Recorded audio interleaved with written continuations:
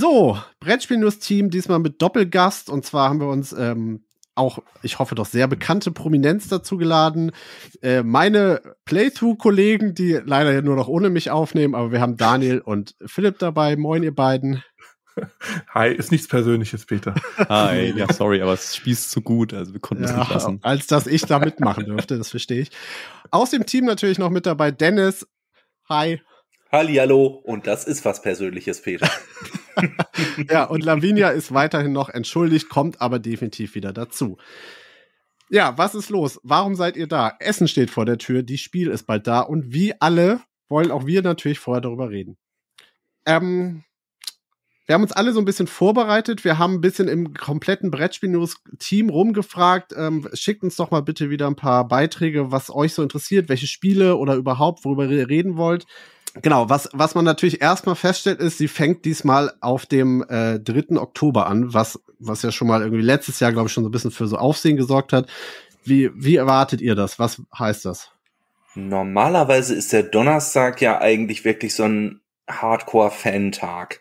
Und das könnte dieses Jahr tatsächlich sein, dass das eher auch dann das allgemeine Publikum, was sonst eher am Samstag die Hallen einrennt, äh, dass das auch schon am Donnerstag mit dabei wird. Ich rechne damit, dass der Donnerstag extrem voll sein wird und dementsprechend auch schon viele Dinge am Donnerstag vergriffen sein werden, viel mehr als sonst schon.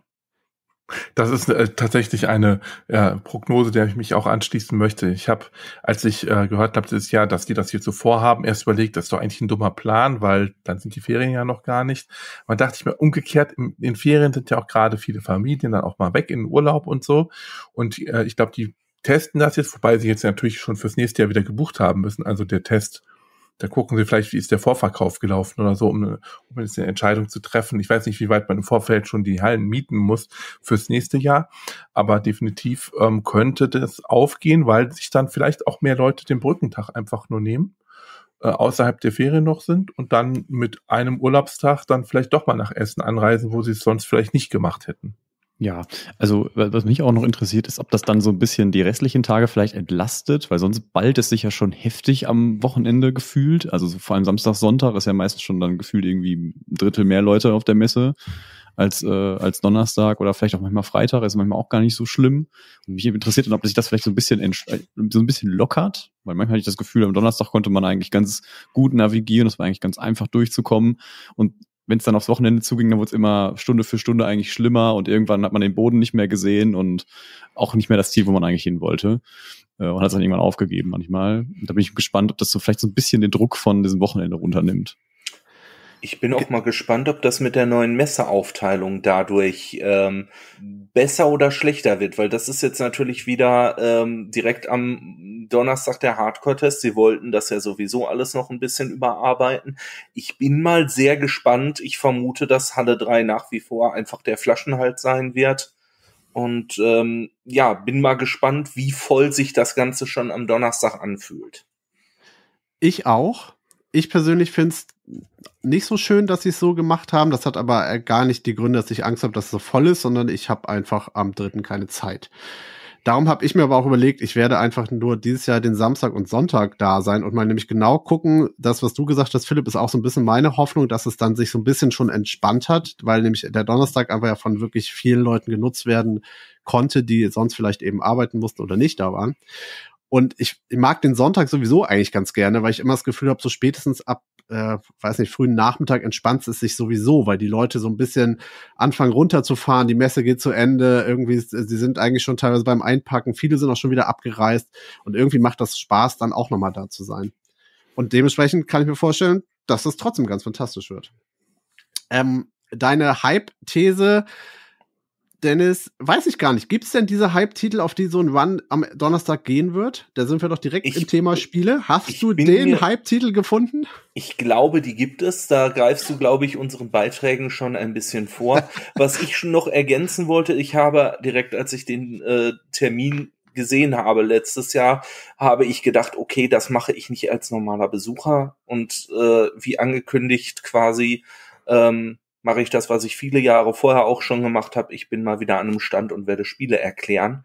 Ähm, ich hoffe, dass das die Art und Weise ist, wie die Messe für mich erträglich sein wird. weil äh, als Besucher weiß ich nicht, ob ich darauf jetzt gerade am Donnerstag so Bock hätte. Aber ähm, ja, ich habe trotzdem Bock, da merke ich, dass es, äh, es juckt trotzdem schon wieder. Ich bin sehr neugierig und freue mich schon sehr drauf. Und ich glaube tatsächlich, es wird Halbtitel geben. Ich habe auch schon konkrete Dinge, bei denen ich sicher bin, dass sie eigentlich Freitag nicht mehr verfügbar sein werden. Ich habe da aber noch mal eine Gegenthese, Dennis, ja. weil wow. gerade wenn die Leute die Spiele kaufen wollen, dann stehen die wunderbar geordnet mit Schlangen an und man kann einfach entspannt über die Messe schlendern. So war meine Erfahrung donnerstags eigentlich, also ähm. zumindest letztes Jahr, dass ich relativ gut über die Messe kam, weil nämlich alle Leute anstanden. Man muss halt nur hier und da mal irgendwelche äh, Anstehschlangen kreuzen, mal sagen, kann ich mal durch bitte? Das war's eigentlich. Äh, ich habe ein Wort für dich und das ist Lorcana. Ja, dann dreht sich halt die Schlange wieder raus aus der Halle. Aha. Dann stört's mich auch nicht. Dann war, die Halle, dann war auf einmal Halle 6 dicht. Bis nach Bochum. ja, aber das, das ist tatsächlich auch noch ein spannendes Thema. Äh, da bin ich jetzt auch mal gespannt, ob sich das dieses Jahr wiederholt. Das sehe ich nämlich gerade noch nicht so unbedingt. Nee, das kann tatsächlich sein. Wenn wir jetzt nur jemanden hätten, äh, der oder die sich mit Lorcana auskennen würde, ne? Ähm, Lehrer. Ähm, ähm, tatsächlich bin ich bei Lokana auch überhaupt nicht drin, ob es da wieder irgendwie so eine Promo-Aktion gibt, wo die Leute heiß hinterherrennen werden, weil die Karten einfach so exponentiell im Preis steigen. Bei Star Wars Unlimited weiß ich, gibt es exklusive Messekarten. Das ist so ein Set aus fünf Liedern, die es halt eben jetzt in alternativen Artwork gibt. Und da ist es aber so, die bestellst du einfach vor. Da konntest du dir irgendwie, ich glaube, über Asmodee direkt oder über die Star Wars Unlimited Seite quasi ein Ticket erstellen und kannst dir das vorbestellen. Dann hast du einen Timeslot, in dem du dir das abholen kannst. Also die sind äh, sich sehr bewusst, dass es dann wahrscheinlich nämlich sonst einfach unendlich lange Schlangen geben würde und die Karten wahrscheinlich am Freitag ausverkauft wären. Entschuldigung, am Donnerstag. Die haben das so gelöst. Wie es die anderen machen, weiß ich nicht. Ich weiß noch nicht, ob da noch Kontingent zum Beispiel da ist, also ob man da jetzt immer noch was kriegen kann. Viele machen es ja mittlerweile auch sogar so, ähm, dass sie ihre Spiele gar nicht einfach nur raushauen, sondern sagen, okay, das ist unser Kontingent für Donnerstag, das ist für Freitag, das ist für Samstag und Sonntag gibt's dann vielleicht noch ein etwas kleineres, aber dass sie sich das tatsächlich sogar tageweise einteilen. Also von daher könnte es auch sein, dass ich mich da komplett irre und die Titel, von denen ich denke, okay, die sind Freitag weg, dass es eben jeden Tag ein kleines Kontingent geben wird. Das, äh, die Möglichkeit gibt's immer. Aber Dennis, willst du denn vielleicht direkt mal mit einem Titel starten? Ich habe so das Gefühl, du hast da den Hype erkannt und willst auch drüber reden. Eigentlich würde ich gar nicht drüber reden, in der Hoffnung, dass ich noch eins abkriege. Ähm, nein, ähm, ich glaube, äh, der große Hype wird ähm, Castle Combo. Das ähm, ist ja von den ähm, Machern von Faraway ähm, Catch-up Games. Die ähm, haben ja letztes Jahr schon mit Faraway einen Kracher gelandet und äh, ähm, dieses Jahr sieht's wieder ganz genauso aus. Mal abgesehen davon, dass sie auch die Faraway-Erweiterungen am Stand haben werden. Ähm, Castle Combo sieht sehr, sehr cool aus. Das ist so ein ähm, ja, Tableau-Building-Spiel im Prinzip. Neun Karten legt man vor sich aus und die haben alle gewisse Fähigkeiten, interagieren miteinander, sieht unglaublich puzzelig aus, aber auch ähm, wieder sehr kleiner Fußabdruck. Ich glaube, wieder so schmale Regeln wie bei Faraway eigentlich, aber mit ordentlich ähm, Anspruch dahinter, so dass es wieder so ein Spiel ist, mit dem man alle eigentlich abholen kann. Wieder mit einem sehr, sehr coolen, ausgefallenen Artwork. Sie haben da, glaube ich, wieder auf die bewährte, äh, ja, auf die Rezeptur gesetzt, die auch Faraway zu einem Hit hat werden lassen, aber anders. Und da bin ich mal gespannt. Ich glaube, das wird ein Messerhit. Ja, interessiert mich zum Beispiel mal gar nicht. Das wäre überhaupt kein Titel, wo ich hinrennen müsste, aber genauso wie bei Faraway wäre ich auch nicht hingerannt. Ich glaube, das wäre so ein Titel gewesen, den ich letztes Jahr, wenn ich zufällig vorbeigelaufen wäre und eben diesen, diesen, diesen Flow, der dem Spiel ja so ein bisschen, den das so umgeben hat, das mitgekriegt habe, dann hätte ich das vielleicht einfach mitgenommen, um es auszuprobieren, eben weil das so eine kleine Box ist, wo ich denke, ach komm on, weißt du, selbst wenn ich es dann nicht mag, dann bin ich sofort wieder los. Das heißt, das ist für mich so ein Titel, ja, ob er da ist oder nicht, ich werde merken, wie er ankommt und ich werde den 100 Pro irgendwo mal mitspielen können. Also ich brenne da nicht. Ja, geht mir genauso. Also es ist so ein kleines Ding, das nehme ich so im Vorbeigehen mit, wenn ich sehe, dass es interessant ist, aber das ist jetzt nichts, wo ich irgendwie mir von vorher drauf irgendwie festnehme, oh, da laufe ich sofort hin. Ähm, vor allem, weil es auch klein ist, deswegen gehe ich erstmal davon aus, dass es wahrscheinlich auch relativ viel davon geben wird und nicht so muss man keine Wagenladung voll machen mit, äh, also hat man mehr, mehr vielleicht Platz dafür. Vor allem nach den Erfahrungen mit dem letzten Titel haben sie vielleicht mal ein paar mehr gedruckt noch, ne? Durchaus möglich. Ja. Aber ja. spannend, kann natürlich echt sein, dass auch durch eben Faraway das so eine Vorschusslorbeeren hat, dass das alle einfach mal einpacken wollen. Ja, aber irgendwann gibt's ja jedes Spiel. Also wenn man ein bisschen Geduld hat, also dann kommt irgendwann eine Lokalisierung nach Deutschland oder sei es dann irgendwie, dass doch nochmal ein anderer Verlag eine englische Version rausbringt und dann kommt man dann doch wieder dran. Ja, ich habe so das Gefühl, seit diesem Arche Nova-Hype haben wir so eine neue Hype-Thematik erreicht, dass man immer wartet, da muss wieder dieser Titel sein und den gab's halt seitdem nicht wieder. Ähm, und aber auch da gebe ich dir vollkommen recht. Ich habe das auch so. Ich denke so, ich bin nicht mehr so, dass ich das sofort spielen muss, weil ich habe genug Sachen und ich kann auch kurz abwarten mittlerweile. Das wird vielleicht mal wieder anders werden, aber zurzeit finde ich das ganz entspannt. Das absolut. Ja, da ist ja unser Pile of Shame äh, Format immer wieder sehr bringt einem immer wieder bei. Man kann auch mal entspannt bleiben. Und man muss nicht jedes Spiel sofort haben. Aber ich denke, wenn ich auf der Messe bin, geht es mir wieder anders, dann spreche ich auch ja. wieder anders. dann ist die Vernunft wieder weg. Gelegenheit macht Diebe. Und Kunden. Und Kunden. Ja. Ja. Jetzt, ey, Daniel, willst du dann direkt weitermachen, was du denn dir vielleicht dann da einpackst? Das packe ich mir jetzt nicht ein, aber da bin ich jetzt tatsächlich sehr verwundert, wo ich mich drüber freue. Ich habe heute eine Versandbenachrichtigung von der Spieleoffensive bekommen, die ich schon nicht mehr erwartet habe. Und zwar wird es tatsächlich Divinis als Spiel auf der Messe dieses Jahr geben. Oh. Ähm, und das Spiel ist, ich habe mal nachgeguckt, ich habe es vor ungefähr drei Jahren bezahlt. und es wird immer wieder verschoben und verschoben und zwischendurch habe ich es dann schon wieder vergessen. Dann habe ich wieder dran gedacht und dachte ich, oh, mal gucken, wann es kommt. Und tatsächlich wird es jetzt äh, die Tage zugestellt, noch vor der Spiel. Und das wäre so ein Spiel, was mich auf jeden Fall jetzt auf der Messe dann auch interessieren würde und was ich auch empfehlen kann, in dem, insofern, dass ich da halt schon mal vor drei Jahren oder vor vier Jahren einen Prototypen gespielt habe, zwei Partien. Und den fand ich tatsächlich cool. Das Besondere halt bei dem Spiel, es ist ein ähm, Legacy-Spiel mit einer App, und ähm, ja, man, man hat halt so, spielt Halbgötter. Und das war echt witzig. Also wir haben es in einer Vierergruppe gespielt, das kann man für, mit zwei bis vier Personen spielen. Und es war richtig cool, hat Spaß gemacht. Und da freue ich mich jetzt einfach drauf. Und es war relativ kurzweilig. Die Regeln waren, glaube ich, auch überschaubar. Also bin ich mal sehr gespannt drauf. Also das kann ich auf jeden Fall mal empfehlen, sich anzugucken. Das wird es in der Halle 2 am Stand E510 geben.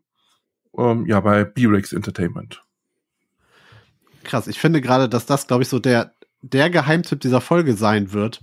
Weil ich, also ich wusste auch mal, dass es dieses Spiel gibt, hatte mich da auch wirklich drauf gefreut. Ich habe das nicht vorbestellt allerdings. Und dann habe ich das voll vergessen, weil das ja irgendwie nie erschienen ist. Und jetzt kommt es, sagst du, man kann es sich da angucken.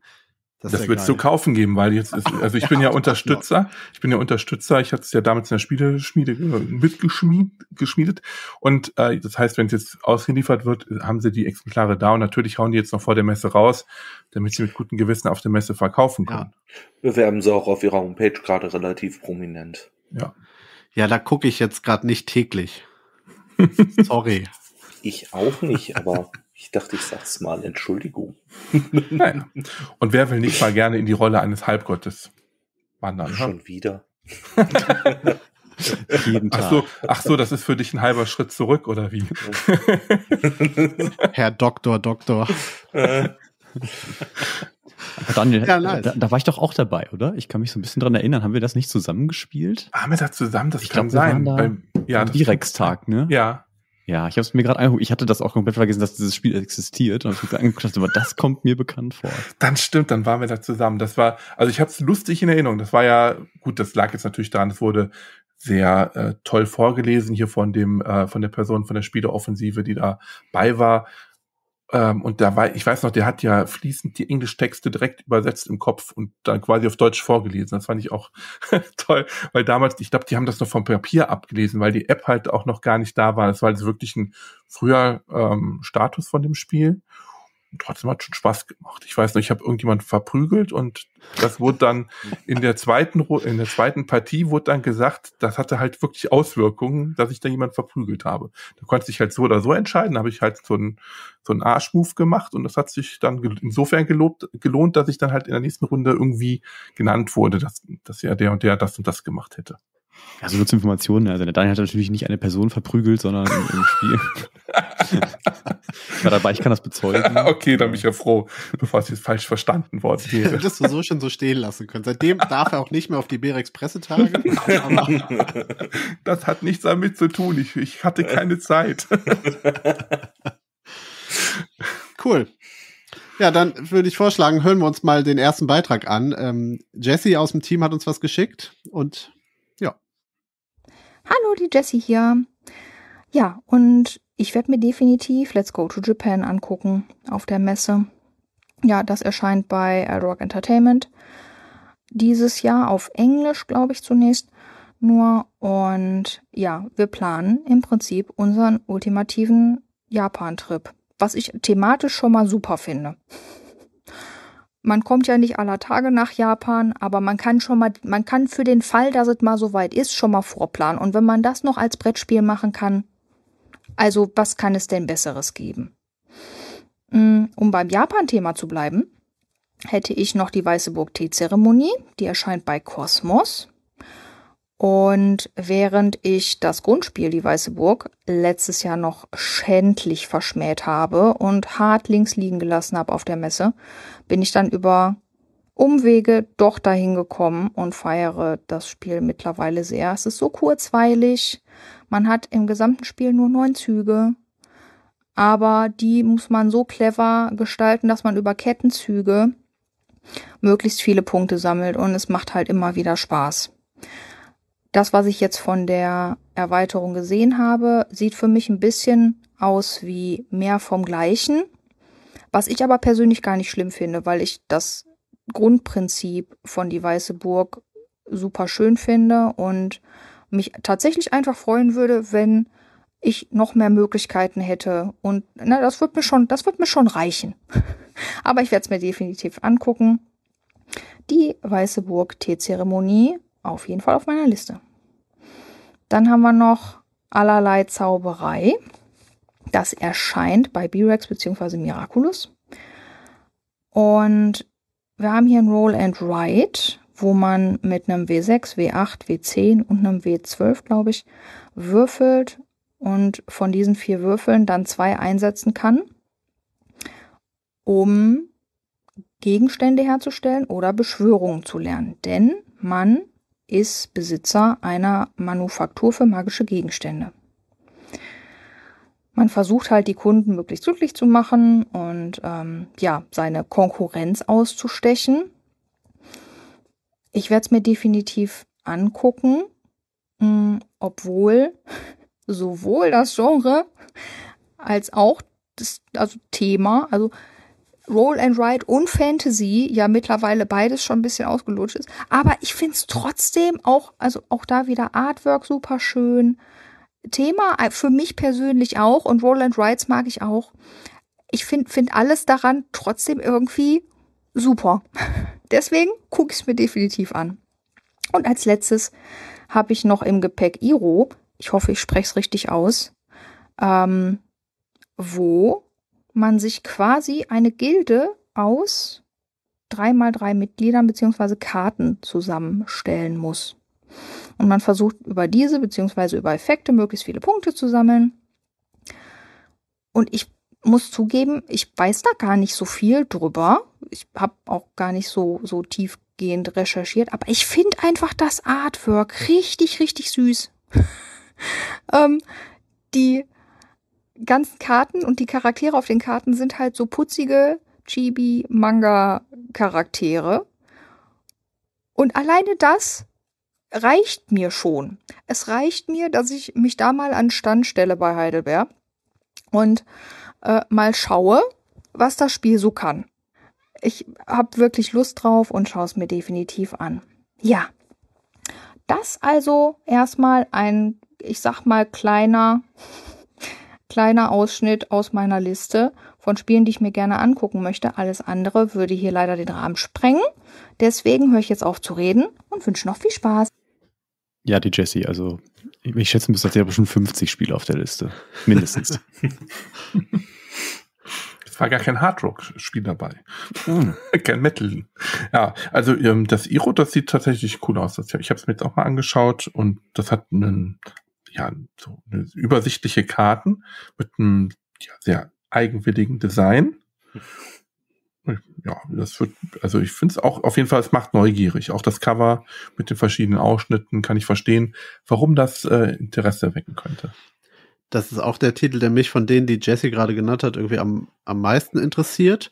Auch weil man irgendwie so wenig drüber weiß und es irgendwie so ein kleiner Deckbilder oder ne, man baut da sein Team zusammen, klingt ja auch erstmal ganz charmant. Ähm, über Let's Go to Japan hatte Vera nochmal auch bei uns im Team-Podcast schon mal gesprochen. Das klang tatsächlich auch super und nach, das klingt für mich nach so einem Wohlfühlspiel, ehrlich gesagt. Ne? Also ja. tolle Grafik, so, so, ein, so ein richtig schönes Feierabendspiel, wo man irgendwie sich einen Kaffee oder einen Tee zukocht und dann so diesen Trip plant.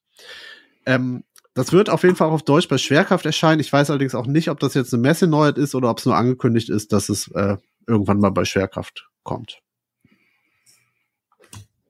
Gut möglich. Also ich finde das Iro auch äh, ziemlich spannend, aber jetzt gar nicht so sehr, weil mich der Look catcht. Also den finde ich auch gut, ähm, weil es halt wirklich, wirklich mal einfach anders ist. Aber ich, ähm, wenn ich mir die Karten so angucke, also da, da wird ja doch davon geschrieben, dass, dass da so irgendwie gegeneinander gekämpft wird. Also jeder baut sich so ein Team auf und dann kämpfen die so gegeneinander. So habe ich das zumindest verstanden. Da sind ja immer auch so zwei Werte in der Ecke. Ich nehme an, das eine ist Leben und das andere Angriff oder so. Ähm, und äh, das, das stelle ich mir auch ganz interessant vor. Also es ist offenbar nicht nur so ein Deckbilder, wo man Sachen nebeneinander legt und dann kriegen die irgendwie so ein paar Boni und dann kriegt man Punkte dafür, sondern da scheint auch noch so ein bisschen Kampf irgendwie drin, also mit drin zu sein. Das finde ich dann schon interessant, weil dann habe ich sofort so, so ein bisschen so, so eine Vorstellung von solchen äh, Sammelkartenspielen so ein bisschen. Ähm, da kämpft man ja auch mal mit irgendwelchen Viechern oder Leuten gegeneinander. Und das kann ich mir dann schon ganz gut vorstellen in so einer Box. Und die sieht natürlich auch sehr, sehr, sehr hübsch aus. Und also das auch auf meiner, auf meiner Liste gewesen ähm, zum Angucken. Und ähm, ich finde vor allem die Mechanik klingt erstmal interessant. Ich glaube, ich werde mir irgendwann tatsächlich noch mal die Weiße Burg angucken müssen. Ähm, das, ähm, ich bin ja so überhaupt kein großer Euro-Fan und deswegen ist Essen sowieso immer ne als Euro-Hochburg äh, Ne? Okay, aber das, was ich bis jetzt gehört habe, könnte tatsächlich sein, dass das bei mir gut funktioniert, einfach weil es äh, sehr runtergebrochen alles ist. Das äh, klingt nach wie vor interessant. Bei allerlei Zauberer. Ja, okay. Ich, ich glaube, also ich würde es eher einschätzen, dass es nicht unbedingt was für dich ist, weil es nämlich, es ist genauso runtergebrochen, dass du eigentlich da nichts anderes machen musst, als auf dieses Spielboard zu starren, um den besten Weg rauszufinden. Also es ist quasi der Kern des Euros, äh, der da rausgeholt wurde. Okay. Also weniger runtergebrochen und mehr, ja, komprimiert. Genau. Sehr schön. Die Essenz des Euro. Jetzt ähm, hm, habe ich, irgendwie hab ich irgendwie weniger Lust auf das Spiel. Okay. Ich mache mal mit einem meiner Titel weiter, okay? Wo wir gerade bei äh, Euro sind und auch noch die Hypewelle haben. Ich habe es mir tatsächlich ganz einfach gemacht. Ähm, ich habe, um diesem Hype zu entgehen, habe ich mir zwei Titel vorbestellt, weil ich dachte, die möchte ich gerne mir angucken. Und der eine ist der, der, glaube ich, auf diverse Listen ganz oben auf der Eins steht. Es ist äh, Seti, der neue ja. Chess Games Titel. Und ich glaube, als sie das vor gefühlten, weiß ich nicht, dreiviertel Jahr angekündigt haben, dachte ich, geil keine Ahnung, was das ist, aber es sieht super cool aus. Czech Games hat erstmal Vorschusslorbeeren aufgrund dessen, was sie so machen. Unbekannter Autor, der allerdings in diversen Listen auch zweimal auftaucht, glaube ich. Also ich glaube Galileo Galilei dreimal sogar. Philipp, okay. Mhm. Also Galileo Galilei weiß ich gerade noch, ist von ihm. Das dritte wirst du dann vielleicht gleich nachreichen. Genau, Tiergarten ist auch äh, ah. ziemlich weit oben in der Hype-Liste, ist auch von ihm und sind seine ersten drei Spiele offenbar. Ja. Irre. Und genau, und Seti hat mich einfach so angesprochen, dass ich dachte, ich möchte das doch einfach mitnehmen. Es kommt äh, im Deutschen bei Heidelberg wieder, also auch das es wird schon einfach direkt lokalisiert da sein. Äh, SETI steht für Search for Extraterrestrial Intelligence, also sprich, wir suchen den Weltraum nach ähm, intelligentem Leben ab. Total geiles Thema, habe ich richtig Bock drauf. Ich, ich mag ja ähm, auch Science Fiction oder auch Science Fantasy Themen in Brettspielen. Ich habe da überhaupt kein Problem mit. Genau, und wir haben einfach so ein rundes Rondell, wo wir dann äh, das Weltall ein bisschen drehen, das beeinflusst und die Arten, wie wir suchen können. Im Endeffekt ist es, glaube ich, ein, also wir werden nicht irgendwie wirklich Leben finden, sondern wir werden da und da Punkte machen dadurch und äh, es geht nicht darum, wer, wer quasi das äh, findet, der gewinnt, sondern wir haben einfach, bauen da unsere versuchen einfach Leben zu finden. Das haben wir irgendwie Kartenmechanismus und mehr weiß ich gar nicht, weil ich habe einfach Lust, mich hinzusetzen, mir das anzugucken und freue mich, das Spiel dann am Tisch zu lernen. Ja, mich interessiert das Thema auch total. Äh, ich finde das Thema total super. Ähm, ich mag auch generell so, so Hard Sci-Fi eigentlich ganz gerne. Also so, was so ein bisschen näher an der Realität ist und nicht so voll abgespaced mit irgendwelchen Aliens, die Laser rumschießen und so. Ähm, aber mir sind die Spiele meistens viel zu heftig. Also einfach zu groß, zu komplex und zu lang. Weil das ist sehr häufig bei diesem, bei diesem, bei diesem Thema, habe ich das Gefühl, dass die, komplex, dass die Spiele ja. sehr lang, groß und komplex sind. Und das sieht zwar immer noch ziemlich groß und auch noch relativ komplex aus, aber nicht ganz so schlimm wie die meisten anderen, die ich bisher so gesehen hatte. Deswegen, und ich glaube, da deswegen habe ich mir auch gedacht, dass, da werfe ich auch mal ein Auge drauf. Aber ich glaube, da wird man eh nicht drum rumkommen auf der Messe. Genau. Und ich glaube eben, das, was du gerade meinst, dass es sich gar nicht so, dass man da keine Angst vor hat, das zu spielen, wie so ein richtig komplexer Euro. Das sind eben die Verlage. Also, dass es eben Heidelberg ist und Czech Games. Ich glaube, wenn es irgendwie bei, ich weiß nicht, wem rauskommen wäre, hätte ich nämlich auch mehr Angst und würde sagen, nee, das ist mir, glaube ich, zu viel. Da habe ich gar keinen Spaß mehr dran. Through the ages. ja, richtig. Aber das geht. Ja, okay. Ja, ich meine, also wenn ich mir so angucke, ne, also 40 bis 160 Minuten, das äh, klingt immer noch nach ähm, ordentlichen Investment, aber es, ich, ich weiß nicht, auf mich macht es auch einfach nicht so einen beängstigenden Eindruck wie manche ja. andere aus dem, äh, aus dem Themengebiet. Ja, also bei mir ist es, also Czech Games Edition, die machen immer tolle Spiele, das kann man sich auf jeden Fall mal angucken. Das ist ich so werde berichten. Ich komme sicherer Pick, würde ich mal sagen. Aber ich mache mal weiter mit sehr unsicheren Picks, weil ich habe mir mal zwei Spiele rausgesucht. Das sind zwei kleine, deswegen sage ich direkt zwei. Äh, die, da habe ich mir einen Kopf gefasst.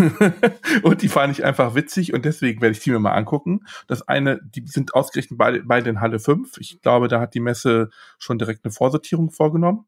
Äh, erster Titel heißt Arschlochmensch. ist ein kleines Kartenspiel mit dem Ziel, das größte Arschloch zu sein. Das ist ein Mitbringen, Geschenkespiel, ne? Ja, mhm. ja aber dafür mit, für 27,90 finde ich Ui. das schon happig. Okay. Äh, ja, Thema-Setting, schwarzer Humor und Sarkasmus. Also ähm, ja, hört sich also zum Angucken auf jeden Fall mal lustig. Und bei einem Spiel, da habe ich mir wirklich einen Kopf gefasst, da dachte ich mir, wie kann man ein Spiel bitteschön Deadly Death nennen? Oh. Und das Black heißt, Metal Band. Es heißt das, im spanischen El Mortel. Das klingt, als hätte das ein 14-Jähriger entworfen. Nein, das ist, ein, das ist eine Portierung ins Englische. Das ist ein spanisches Spiel. Wenn man in der, also wenn ihr schon die Spiel-App äh, installiert habt, macht ihr, nehmt das Handy jetzt mal in die Hand, guckt mal nach, gebt mal Deadly Death ein. Da werdet ihr dann auch das Cover von der spanischen Version stehen, sehen, wo eben auch El Mortel draufsteht. Und wenn man das übersetzt aus dem ähm, Spanischen, automatisch, ich habe jetzt mal Diepel genommen, dann steht da einfach The Mortal oder The Deadly, aber nicht Deadly Death. Naja, das ist auf jeden Fall, auf jeden Fall werde ich es mir mal angucken. Das ist ein kleines Kartenspiel. Äh, war wohl in Spanien sehr erfolgreich. Da steht, dass es 30.000 Einheiten verkauft hat. Also irgendwas wird wohl dran sein. Das ist auch tatsächlich eher so ein Mitbringspiel. 15 Euro. Hat auch schwarzen Humor. Ja, kann man sich vielleicht auch mal angucken, wenn man eben auf so einen lustigen Titel raus äh, aus ist. Äh, ist bei Atmos Games jetzt als englische Version dann verfügbar. In Halle 5 am Stand E120 alle ich komme immer noch nicht. Ich, ich, äh, ich fange mal mit dem Arschlochmenschen an. Ich habe das dumpfe. Das fühlt sich so an, als wäre es ein Mad-Spiel. Ne, so Mad Magazine mäßig. Mhm. Ja. Da gab es doch auch mal dieses Anti-Monopoly quasi, wo man mal das ganze Geld ausgeben musste oder so. Und ich glaube, äh, das fühlt sich so ähnlich so vom Humor an. Ja, oder so ein Cards Against Humanity war das, was mir gleich als erstes ja. in den Kopf kam. Das wollte ich auch gerade sagen. genau, so Klar. derber Humor, äh, ohne Rücksicht auf Verluste. So klingt das ein bisschen. Ja, ich muss dazu sagen, ich meine, ich bin im Englischen nicht so firm. Vielleicht ist das äh, ja Deadly, der ist irgendwie, weiß nicht, irgendwas ein, ein, Witz, den man nicht jetzt versteht als nicht natürlicher Englisch sprechender Mensch, aber es hört sich nicht so an für mich. Tödliche Tode. Hm. hm. Ja. Naja, also das sind so meine kleinen zwei Picks. Wenn man, wenn man äh, Zeit und Lust hat, da in Halle 5 rumzuirren, dann sollte man sich dieses Spiel wenigstens mal einmal angeguckt haben, damit man was Lustiges zu Hause zu erzählen hat. Ja. Ich habe auch was Kleines, ähm, wenn wir schon bei kleineren Sachen sind, aber diesmal ähm, anscheinend ohne Humor. Ähm, äh, und zwar Backstories Alone Under the Ice von einem französischen Verlag, äh, La Boîte de Jeux. Ich kann kein Französisch, war das ansatzweise in Ordnung? Klang Ja, gut. oui, oui, wunderschön. Oui, genau. Magnifique. Sie. Nee, das war jetzt aber irgendwas anderes. Das, das Spanisch wieder. genau, und ähm, Backstories, ähm, das ist ein narratives Koop-Spiel, was ziemlich klein ist, ich glaube 15 Euro, also auch so eine kleine Box, so in so einer Standardgröße von so einem Kartenspiel. Äh, und das soll angeblich wie ein Point-and-Click-Adventure funktionieren, aber halt als äh, Karten- bzw. Brettspiel. Äh, und das hat mich sofort an die Adventure Games-Reihe erinnert von Cosmos, weil das funktioniert ja auch so ein bisschen so. Da hat man auch mal so Landschaften oder Räume mit so Zahlen. Dann kann man mit denen interagieren, irgendwelche, irgendwelche Gegenstände kombinieren oder so. Und so hat sich das für mich auch angehört äh, und sieht auch so aus. Da kann man nämlich auch so Karten zusammenlegen, die dann so Räume ergeben. Äh, und es, es geht wohl irgendwie äh, darum, dass der eigene Bruder irgendwie verschollen ist und man muss den jetzt wiederfinden. Und der einzige Hinweis führt irgendwie zum Gipfel des äh, Mont Blanc. Und jetzt muss man da hin und dann ist da alles voll Eis und man ist in irgendwelchen Höhlen unterwegs. Äh, und das klingt erstmal für mich äh, ganz interessant, wenn halt die Story gut ist. Das weiß man natürlich vorher nie.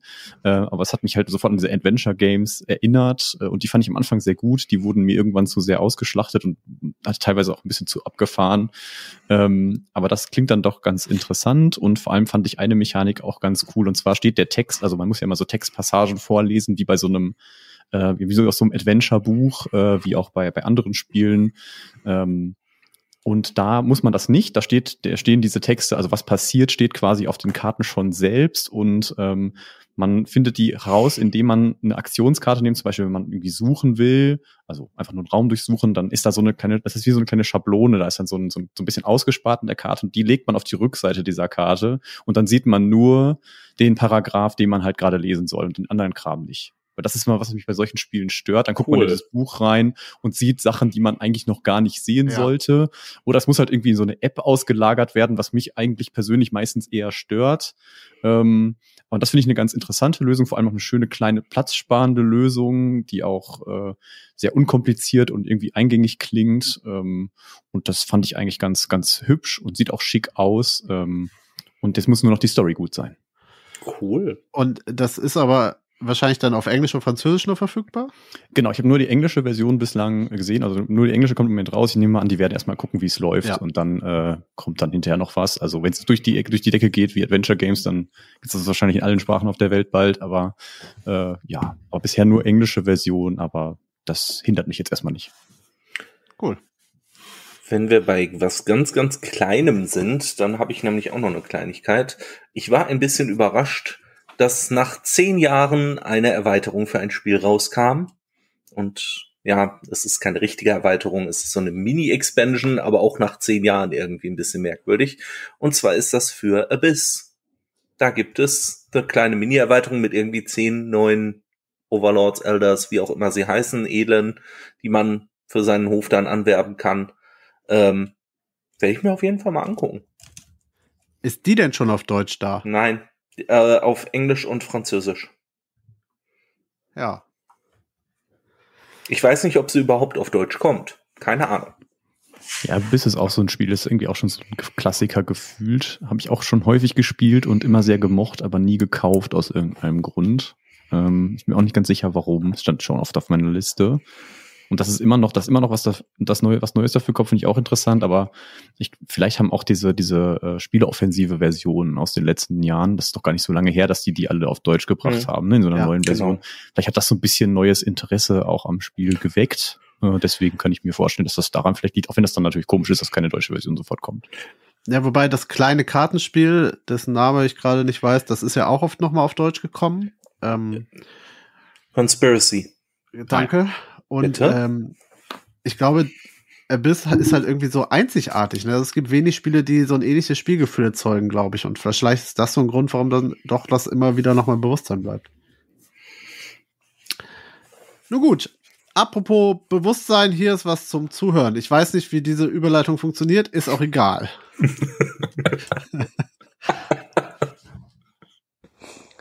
Hallo, Uwe von Brettspiel News hier. Die Spiel 24 steht vor der Tür und genauso wie die anderen aus dem Team habe auch ich einige Spiele auf dem Zettel, die ich mir unbedingt angucken möchte. Spiele, die es mir besonders angetan haben. Und das ist aktuell gar nicht so einfach, weil in den letzten Jahren geht es mir immer wieder so, dass ich den Eindruck habe, übersättigt zu sein von all den Neuheiten, vor allem im Bereich der Eurogames. Nichtsdestotrotz möchte ich äh, als erste empfehle oder als erstes Spiel, das mich gepackt hat, Black Forest von Uwe Rosenberg nennen. Ein Spiel, das schon vor zehn Jahren in der Pipeline stand, jetzt erst veröffentlicht wird und letztlich ein klassisches ähm, Spiel aus der Feder des Erfolgsautors ist. Ja, wieso spricht mich das Spiel an? Ganz einfach deswegen, ich selber bin an der Pforte zum Schwarzwald aufgewachsen, äh, mache dort nach wie vor sehr gerne Urlaub und fühle mich dadurch de einfach der Region äh, immer noch verbunden. Insofern hat mich das Thema einfach gefixt und Uwe Rosenberg Spiele, äh, so klassisch sie auch daherkommen, so spannend finde ich sie einfach nach wie vor. Als zweites Videogame Champion ein äh, Set Collection und Hand Management Spiel, wo man als Teenager äh, versucht, äh, im Videogame-Universum äh, in das Videogame-Universum einzusteigen. Auch hier hat mich einfach das Thema begeistert. Genau, dann äh, meine dritte, äh, mein, mein dritter Titel, den, der mich interessiert, ist King of Tokyo Duel, die Zwei-Personen-Variante des ähm, äh, Klassikers aus der Feder von Richard Garfield. King of Tokyo ist immer noch eines meiner absoluten Lieblingsspiele und äh, kommt als Absacker immer wieder auf den Tisch, aber zu zweit funktioniert es leider nicht sonderlich gut und da ich hauptsächlich mit meiner Frau spiele, freue ich mich jetzt schon sehr auf die Zwei-Personen-Variante, von der ich einiges Gutes schon gehört habe. Der vierte Titel ist dann Arcs, das ja hier und da schon als eines der besten Spiele der äh, des Jahrzehnts gehypt wird. Soweit würde ich vielleicht jetzt noch nicht gehen. Das wird erst der, die Zeit zeigen. Aber nichtsdestotrotz ist um das Spiel ja ein sehr, großen, ein so großer Hype entstanden. Und insofern werde ich mir das zumindest mal anschauen gehen. Genau, und last but not least noch ein weiteres komplexes Spiel, die Anarchie, wenn man so möchte, der gedankliche Nachfolger von Hadrians Wall, der wird bei Schwerkraft erscheinen und ist ein Flip-and-Ride-Spiel mit dem äh, Thema Burgen bauen und das äh, spricht mich als Mittelalter-Fan unglaublich an und äh, diese Kombination aus dem Thema und dem Flip-and-Ride-Mechanismus ähm, haben mich hinterm Ofen hervorgelockt und ich bin schon sehr gespannt, wie das Spiel werden wird. Ja, und das äh, sind die Spiele, auf die ich mich am meisten freue. Und jetzt viel Spaß auf der Messe und viel Spaß beim Spielen. Auch wieder spannende Titel, ne? Da hat der Uwe ja direkt äh, zwei Personen hier im Team sofort angesprochen. Einmal den Dennis mit King of Tokyo und einmal mit Arx wahrscheinlich den Philipp, wenn ich würde ich mal schätzen. Warte, warte. Und Dennis hat er gleich nochmal angesprochen mit Uwe Rosenberg. Ja, ja, ja, ja. Das, das, das meine, äh, meine Abneigung gegen Rosenberg ist ein wenig zurückgegangen. Es wird nie mein Lieblingsautor werden, aber ja, gibt Schlimmere. Also die richtig großen so. Hammer-Spiele hat er ja auch schon länger nicht mehr rausgebracht. Ne? Also es war immer so ein bisschen Hype um die Spiele, aber das ist so richtige Kracher wo man so, wo so richtig alle hinterher waren, das auch schon eine Weile her jetzt beim Uwe, oder? Gefühlt ja. Also das jetzt gerade, ich hatte gar nicht im Blick, dass das ein zehn Jahre altes Spiel im Prinzip ist. Und ich glaube, das könnte jetzt tatsächlich auch ein Vorteil sein, weil äh, Uwe hat ja Kinder bekommen und hatte einfach nicht viel Zeit, komplexe Spiele zu entwickeln. Und deswegen sind halt so viele leichte Spiele erschienen in den letzten Jahren, die sich halt ein bisschen schneller spielen. Ich meine, zuletzt Ativa war ja, glaube ich, schon wieder ein bisschen komplexer Und zum Beispiel. Oranienbauer Kanal kam auch, also Genau, da waren das- schon ein paar dazwischen. Das ist jetzt auch wieder, aber das ist jetzt hier die neuesten Spiele. Er hatte halt eine Phase, wo er nur leichte Spiele, das sagte er ja auch selber in Interviews, dass er nur leichte Spiele gemacht hat, weil er einfach jetzt mit Kleinkindern und so, da hast du den Kopf nicht dafür. Und ähm, wenn das halt jetzt schon ein älteres Spiel ist, das da- und man hat jetzt halt jetzt längere Zeit nicht mehr so diese klassischen Uwe Rosenberg Spiele bekommen, dann finde ich das schon durchaus interessant. Also mich hat das Spiel zum Beispiel alleine schon mit dem Cover gehabt, als ich das das erste Mal gesehen habe. Also Schwarzwald liebe ich auch, aber es könnte ja auch so, es könnten ja viele deutsche Wälder sehen ja so aus. Ähm, ne? Und ich fand es sehr ansprechend, so vom Setting her finde ich es ansprechend und ich persönlich mag jetzt halt auch Uwe Rosenberg Spiele ganz gerne. Ja, also ich finde es tatsächlich, wenn ich jetzt höre, zehn Jahre alt, könnte es was werden. Eigentlich will, eigentlich will der Uwe ja gar keine Spiele designen. Eigentlich will der ja eigentlich nur einen Bauernhof haben. Ich bin der Und festen Überzeugung. Ich finde das Spiel eigentlich auch ganz interessant, äh, auch wenn ich überhaupt kein Uwe Rosenberg-Fan oder Genießer bin. Ähm, ich habe das eine oder andere gespielt, so die Klassiker, ne, die man so kennt von ihm, die habe ich alle mal angespielt, außer, außer Bonanza. Bonanza ist eins meiner Lieblingsspiele, aber das ist jetzt auch schon eine Weile her. Ähm, ansonsten bin ich kein großer Fan, aber das Spiel interessiert mich auch und das wurde jetzt auch so ein bisschen als Glass Road 2.0 irgendwie immer so angeteasert Ja. von vielen Leuten, die es schon mal irgendwie ausprobiert haben oder so. Und das finde ich jetzt auch ganz interessant. Ähm, das Thema finde ich auch ganz spannend. Also ich bin jetzt nicht total gehypt drauf, aber ähm, das werde ich mir, glaube ich, auch mal angucken. Und Rosenberg war für mich in den letzten Jahren eigentlich immer so ein Name, der mich eigentlich nicht interessiert hat. Das geht mir ganz ähnlich. Ich habe die auch einfach alle irgendwie in den letzten Jahren links liegen gelassen. Und eigentlich auch gar nicht, weil ich ihn nicht mag, sondern weil es mir zu ähnlich war, glaube ich. Also ich habe, also das klingt jetzt vielleicht ein bisschen blöd, aber dieses typische, hast du einen Rosenberg gespielt, hast du einen Rosenberg gespielt. Und ich hatte mir Lust, mir, glaube ich, einfach was anderes anzugucken. Nichtsdestotrotz sage ich hier auch, ich finde das äh, Thema richtig cool. Irgendwie erstmal, obwohl es einfach nur der Schwarzwald ist. Das Cover sieht toll aus und könnte tatsächlich was werden. Würde ich auch gerne mal mitspielen, ja. King of Tokyo Duel hat mich wieder so ein bisschen verloren, weil ich einfach keine Zwei-Spieler-Spiele spiele. Sonst wäre das sicherlich auf meiner Liste, aber ähm, fällt aus. Ich bleib beim Normalen. Macht auch weiterhin Spaß. Ich hoffe, äh, ich muss mich mal hinterher mit Uwe austauschen. Ähm, ich drück die Daumen, dass das ihm und seiner Frau ähnlich viel Spaß macht.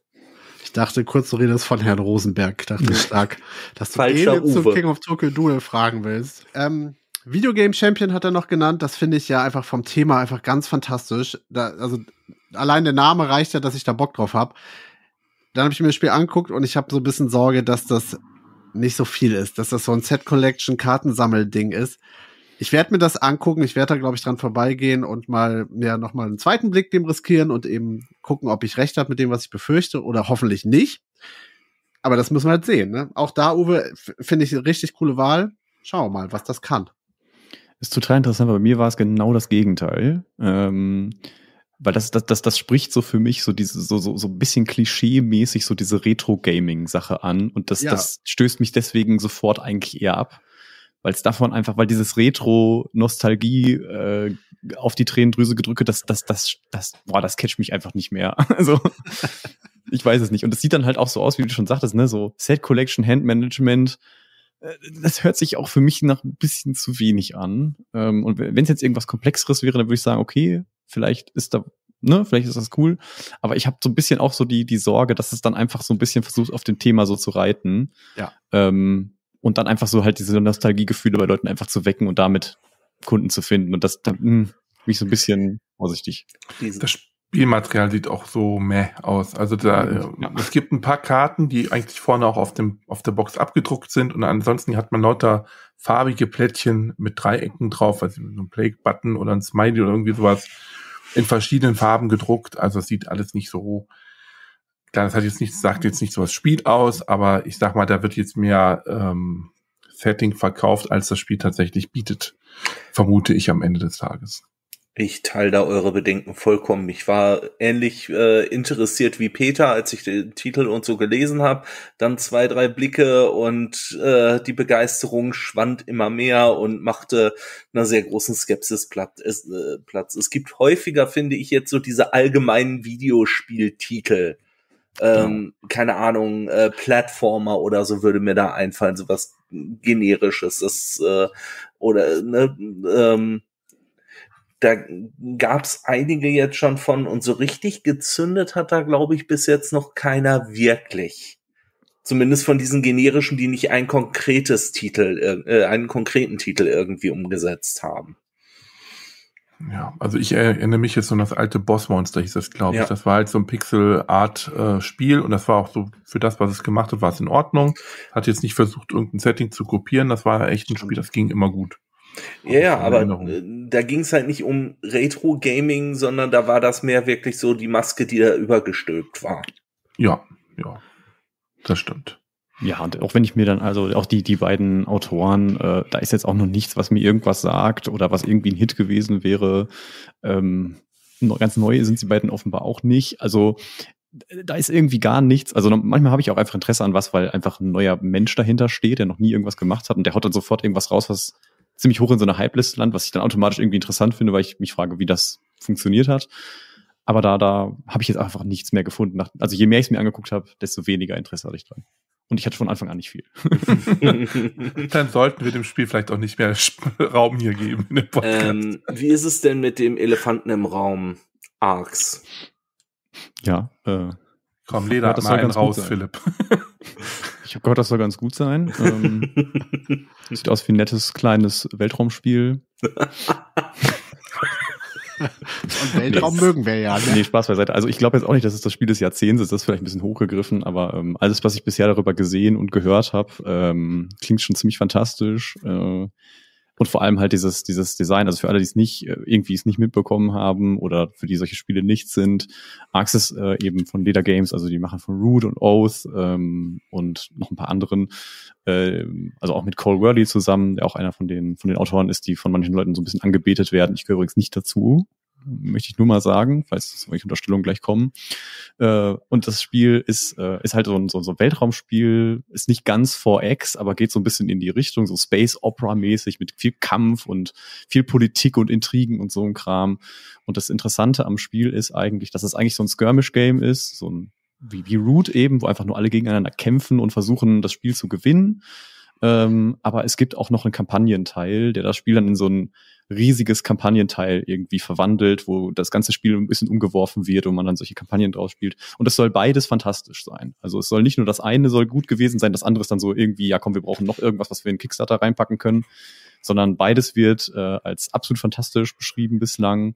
Und was mich von Anfang an eigentlich im Spiel besonders interessiert hat, außer halt das fantastische Artwork von Kyle Farron, das einfach großartig aussieht, wieder mal, ist, äh, dass das Spiel auf einem Stichmechanismus ähm, basiert. Also man spielt Stiche, also wie, wie bei so einem Kartenstichspiel, spielt man immer, spielt jeder eine Karte und dann gewinnt die höchste mit Trumpf und den typischen Sachen, die man kennt. Aber diese Stiche legen die Aktionen fest. Also welche Aktion mache ich jetzt? Möchte ich Bewegung machen? Möchte ich Schiffe bauen? Möchte ich kämpfen? Möchte ich nur Ressourcen sammeln und solche Sachen.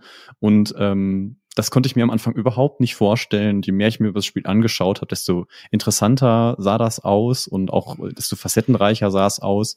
Und äh, das nächste, was mich am Spiel fasziniert hat, ist, äh, dass es eine ganze Menge Siegbedingungen im Spiel gibt. Ganz anders als, oder so ähnlich wie bei Oath, wo es ja auch eine ganze Menge Siegbedingungen gibt, ähm, die die Leute alle erreichen können. Und das Besondere bei Arcs ist, dass die von den, von den Leuten, die am, Teil, am Spiel teilnehmen, erst aktiviert werden müssen, bevor sie erreicht werden können. Das heißt, am Anfang sind noch keine, keine Spielziele quasi da und sie müssen dann erst getriggert werden. Und wenn man ein so ein Ziel triggert, dann sagt man natürlich, hey, das, so, so würde ich gerne gleich gewinnen. Und dann können natürlich alle anfangen, dagegen zu arbeiten oder vielleicht ein anderes Ziel aus dem Ärmel zu ziehen, was dagegen irgendwie spricht. Und äh, es sieht schon sehr, sehr komplex und äh, vielschichtig aus, aber halt aufgrund dieser Stichmechanik doch irgendwie auch ein bisschen eingängig, ne? weil dieses Stichspiele, Karte in der Mitte, eine gewinnt und die Person darf dann irgendwas Besonderes machen. Das, das kennt man, das ist bekannt, das ist eingängig. Und dann ist da so ein, so ein größeres Weltraumding äh, draufgeklatscht, was halt einfach auch irgendwie spannend und interessant aussieht. Ich bin da auch super neugierig drauf.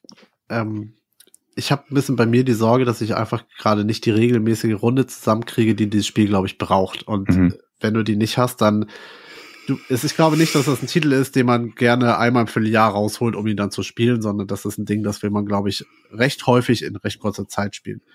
Und das sehe ich bei mir leider gerade nicht. Aber ich finde es total interessant. Alles, was du gerade äh, beschrieben hast, denke ich, ja, okay, und los. Lass uns, lass uns anfangen. Lass uns das ausprobieren. Super neugierig. Es kommt allerdings auch die deutsche Version bei Spielworks. Ähm, die wird, glaube ich, zur Demo auf der Messe sein. Wann die dann genau rauskommen wird, weiß man, glaube ich, noch nicht. Oder ist zumindest nicht bekannt. Ich glaube, Q2 nächstes Jahr habe ich. Okay. Im Kopf. Und allein das ist so ein Grund, warum ich mich da auch zurückhalten kann, weil aus dem eben genannten Grund und dem kann ich auf jeden Fall abwarten und mal gucken, wie sich das so entwickelt. Ja, ist Leder Games, ne? Das ist bei denen immer, also bei den Spielen, gerade den Call World Spielen, ist das natürlich immer, dass die sind so kompliziert und müssen erstmal so viel entdeckt werden, dass man da wahrscheinlich erstmal eine ganze Weile dran arbeiten muss, bis man überhaupt im Spiel angekommen ist. Und dann mit unterschiedlichen Leuten wird es schwierig. Was mich aber gewundert hat, ist das Spiel, also Arcs, habe ich jetzt schon häufiger gelesen, dass es auch zu dritt sehr gut sein soll, was auch sehr untypisch für diese Cold Valley äh, Leder Games Spiele ist. Äh, was sehr gut für mich ist, weil das ist eigentlich hauptsächlich meine Spielerzahl, aber ich habe auch eigentlich keine Gruppe, mit der ich sowas spielen könnte, aber die Hoffnung steht zuletzt oder so. Ja, genau. Ich finde es ja immer sehr mutig, die Designs, die die machen. Das, äh, ne, die trauen sich wirklich was. Bis jetzt konnte noch keins ihrer Spiele bei mir wirklich zünden. Aber ähm, jedes Mal lassen die sich irgendwie was, eine ganze Menge einfallen und ähm, packen da so viel, ja, Ideen Kreativität und auch eben eine ganze ordentliche Portion Mut, finde ich, in die Designs mit rein, ähm, dass da immer eine spannende Mischung bei rauskommt. Und deswegen werde ich auch bei Arx mal einen Blick riskieren. Ich habe allerdings vielleicht etwas niedrigere Erwartungen. Ich glaube, das sind eben Titel, so ähnlich wie Philipp das eben schon angedeutet hat, die kann man wirklich entdecken. Das heißt, wenn du dir im Jahr ein Spiel kaufst, dann hol dir einfach eins von denen. Hm. Dann hast du wahrscheinlich mit deiner Runde einfach ein Jahr lang so viel Spaß und äh, entdeckst so viel Neues und kannst das eben als, anders als so ein typischer Euro, der sich dann doch irgendwann immer ähnlich spielt oder man so seine Strategien raus hat, hier noch viel, viel weiter entdecken. Ich muss noch mal ganz kurz ein bisschen äh, in der Schleimspur schwimmen, die ich Bitte? selbst hinterlassen habe.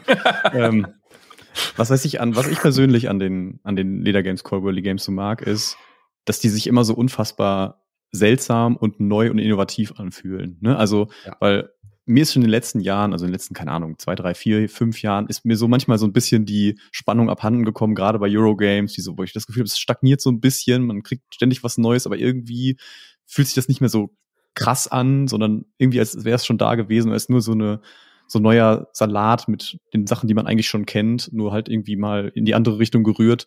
Und die Ledergames-Spiele, die, die fühlen sich immer so, so, so frisch an, so krass neu und mutig, finde ich, ist genau das richtige Wort. Es ist, das, das ist, und ich, ich kann mir auch nie vorstellen, wie die das hinkriegen, diese Spiele irgendwie zu playtesten. Äh, weil das ist ja so ein, ein irres Ding. Und dann auch noch dieses Zweigeteilte mit dieser Kampagne. Und ich, man hört bei diesen Spielen auch ganz selten, dass sie super unbalanced sind. Also Oath ja. war nicht super unbalanced, Root auch nicht. Und Ark soll es jetzt auch nicht sein. Also Hut ab vor deren äh, Spieltesting, äh, das, dem System, was sie da haben. Apropos Salat und immer wieder was Neues. Äh, mein zweiter großer Titel ist der second obvious pick, würde ich mal sagen. Ich äh, muss mir den neuen Feld angucken, leider.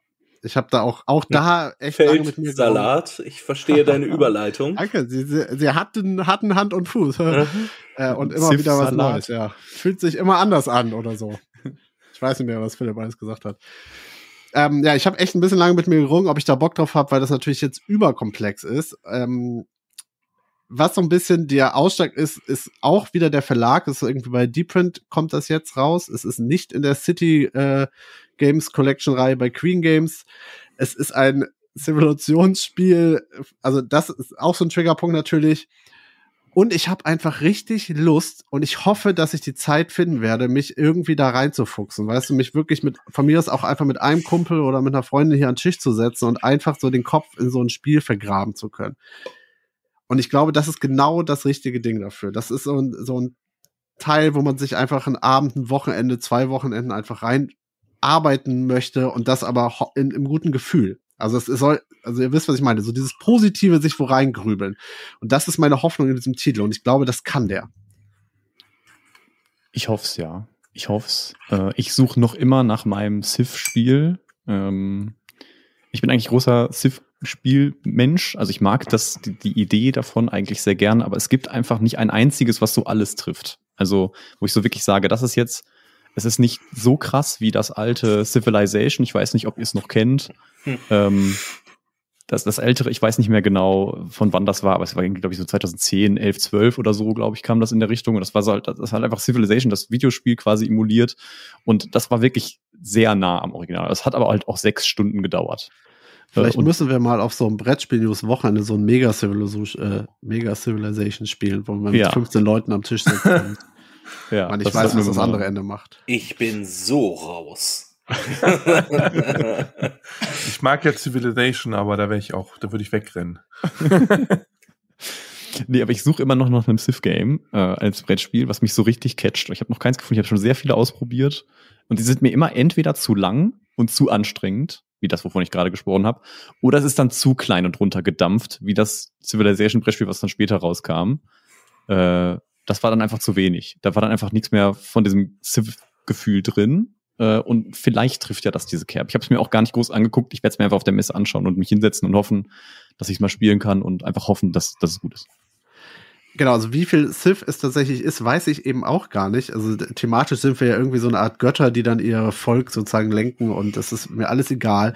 Ich finde auch, also die Gestaltung finde ich auch schon wieder echt fragwürdig. Das ist auch so ein Cover, was ich mir angucke und denke so, ui, oh, das muss doch nicht sein. Also das spricht mich alles nicht an. Und der, was ich gerade meinte, der Grund ist wirklich, dass ich einfach so Hoffnung habe, dass ich mich da so rein grübeln kann und das eben in gut. Auf sowas habe ich einfach richtig Lust. Aber, ne, es, es spricht, finde ich, total viel dagegen. Also es könnte auch wieder so ein Sechs-Stunden-Klopper sein, wenn du mit den falschen Leuten am Tisch sitzt, so eine Downtime-Hölle. Schauen wir mal. Aber Dennis winkt ja, hallo. Mhm. ich habe keine mein ja, Albtraum ich, ich möchte es mir unbedingt angucken und das war der ausschlaggebende Punkt, dass ich gesagt habe, na, dann nehme ich es doch einfach mit, weil los wird man das auch auf jeden Fall wieder, wenn ich merke, das ist nicht meins. Naja, dann mache ich mal mit ähm, Spiel weiter, was auch zu den vorher genannten passt, nämlich ein Duellspiel habe ich im Angebot. Und äh, dieses Mal geht es aber ums Duell um Mittelerde, und zwar hier das neue Herr der Ringe Spiel. Ähm, da habe ich den Vorteil, dass ich es tatsächlich schon spielen konnte. Ähm, das, wir hatten jetzt hier in Köln, das ist bei mir in der Nähe ein äh, Event von Asmodee, da bin ich hingefahren ähm, konnte es da mal mir angucken, habe es dann auch mitbekommen und habe es jetzt quasi hier zu Hause in aller Ruhe schon mal ausprobieren können. Und das tatsächlich ein, das hat mich richtig überrascht. Also erstens, ich habe natürlich jetzt erstmal, bin jetzt nicht der Spezialist für Seven Wonders Duel. Das hatte ich tatsächlich äh, irgendwann mal ausprobiert, das ist ewig her. Ähm, liebe aber Seven Wonders. Und da habe ich mich gewundert, ah, warum haben sie das Spiel gar nicht Seven Wonders mehr genannt im Titel? Klar, es wäre super sperrig, sperrig, wenn sie jetzt sagen würden, Seven Wonders, äh, was weiß ich, äh, Herr der Ringe ne? und so weiter. Duell um Mittelerde, das ist ja ein viel zu sperriger Titel. Aber tatsächlich ist das auch berechtigt, dass dieser Titel hier, der hat ja auch nichts mehr zu suchen, weil wir haben hier quasi mit den Spielen, mit einem sehr ähnlichen Spielprinzip, was dann eben auch schon äh, Seven Wonders Duel war, haben wir hier ein komplett eigentlich ein anderes Spielgefühl. Das hat nichts so mit Seven Wonders zu tun. Und ähm, das ist eher wie so ein, ja, wie soll ich sagen, so ein Rennspiel, ein Duellspiel auf jeden Fall. Und das ist, ich habe es immer jetzt als sehr spannend empfunden, wenn man das gespielt hat zu zweit, ähm, weil es eben hier mehrere Ebenen gibt, wo man quasi miteinander ähm, wetteifert. Ich, es gibt ja so, weiß ich nicht, so klassische kartengesteuerte Spiele, wo man drei Schlachtfelder hat und dann legt man da was an, da was an und dann sieht man halt immer ziemlich übersichtlich, wer gerade wo führt. Und das ist hier bei dem Spiel halt wesentlich dynamischer. Ähm, es gibt jetzt hier eben einen Bereich, eine Karte, wo man eben dann tatsächlich Türme hinbauen kann und auch nur eine Person kann dort einen Turm hinbauen. Es gibt insgesamt, äh, ich glaube, sieben Felder, äh, die da zu besetzen sind. Ähm, sieben, ich glaube sieben oder acht Felder auf jeden Fall. Und dann kann man auch noch Soldaten reinsetzen und wenn ein, wenn schon Soldaten drin sind, dann kämpfen die ganz einfach gegeneinander. Das heißt, äh, eine Einheit vom Feind tötet eine eigene Einheit und fertig. Und was übrig bleibt, bleibt übrig. Also ganz simpel runtergebrochen. Ähm, dann hat man noch ein Wettrennen um den Ring tatsächlich, wo wir eben hier die, äh, die einen eben hier die Mordertruppen steuern und die anderen eben dann die ähm, Gefährten, die hier den Ring äh, quasi entsorgen wollen. Und, ähm, und das ist ganz nett gemacht mit so einer, ich dachte erst so ein Plastikschieber, ist das nicht ein bisschen überproduziert, aber tatsächlich ist das sehr gut, weil man damit eben auch jetzt das verhindern kann, dass das Spielmaterial verrutscht. und äh, eben auch festhält, dass der Abstand immer gleich bleibt und, und der, also das, da hat man auch noch mal wirklich ein Rennen tatsächlich und dann eben noch man kann sich noch mit den Völkern gut ähm, äh, gut stellen und das heißt, wer als zuerst die sechs Völker äh, auf seine Seite geholt hat, der gewinnt das Spiel zum Beispiel auch. Und so muss man halt ständig im Blick behalten, was der andere da gerade tut.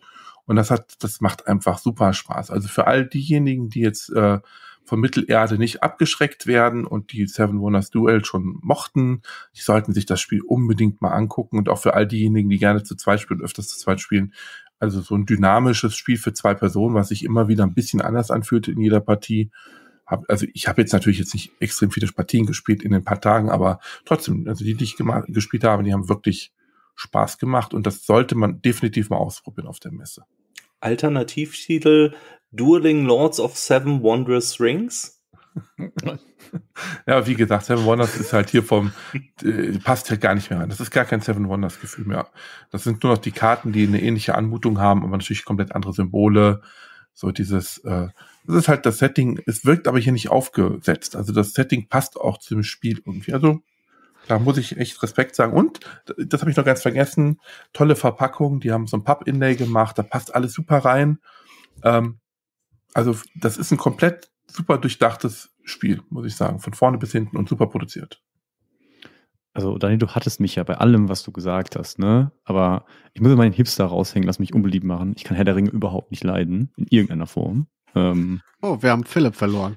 Ja. Ups. Oh. Äh, Komisch, wir hören ihn nicht mehr. nee, also es, es, klingt alles so gut und ich würde das echt gern, aber, aber Herr der Ringe mich einfach instant raus. Also, ähm, nee, ich weiß nicht, ich bin irgendwie so ein Hipster, ich kann es auch nicht ändern. Nee, ich glaube, du verwechselst den Begriff Hipster. Das ist irgendwas anderes, was du bist. Egal. ähm, ich finde das auch ein super Titel, auf den ich, wo ich ganz sicher bin, dass der irgendwann hier einziehen wird. Das ist für mich halt nichts, was ich jetzt auf der Messe mitnehmen muss oder möchte. Das ist auf jeden Fall so ein Titel, den ich irgendwann mal ganz entspannt aus irgendeinem Regal ziehen werde, wenn ich daneben stehe und dann nehme ich das mit nach Hause. Und irgendwie bin ich auch ein bisschen böse über diesen Titel, weil dann weiß ich nicht, was ich mit meinem Seven Wonders Duel mache. So, das stellt mich wieder vor die Frage, behalte ich jetzt beide Titel oder muss ich den oder ah. Ich, ich könnte dir eine Adresse geben äh, an die du schicken kannst. Das ist irgendwann das Duel. Entsorgungsdienst zu Philipp.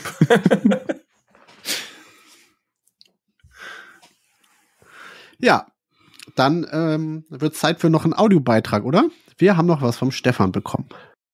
Ja, schönen guten Tag, der Stefan hier. Ich bin auch einmal meine Liste für die Messe in Essen durchgegangen, die natürlich auch wieder einmal viel zu lang ist, als dass man alles schaffen könnte.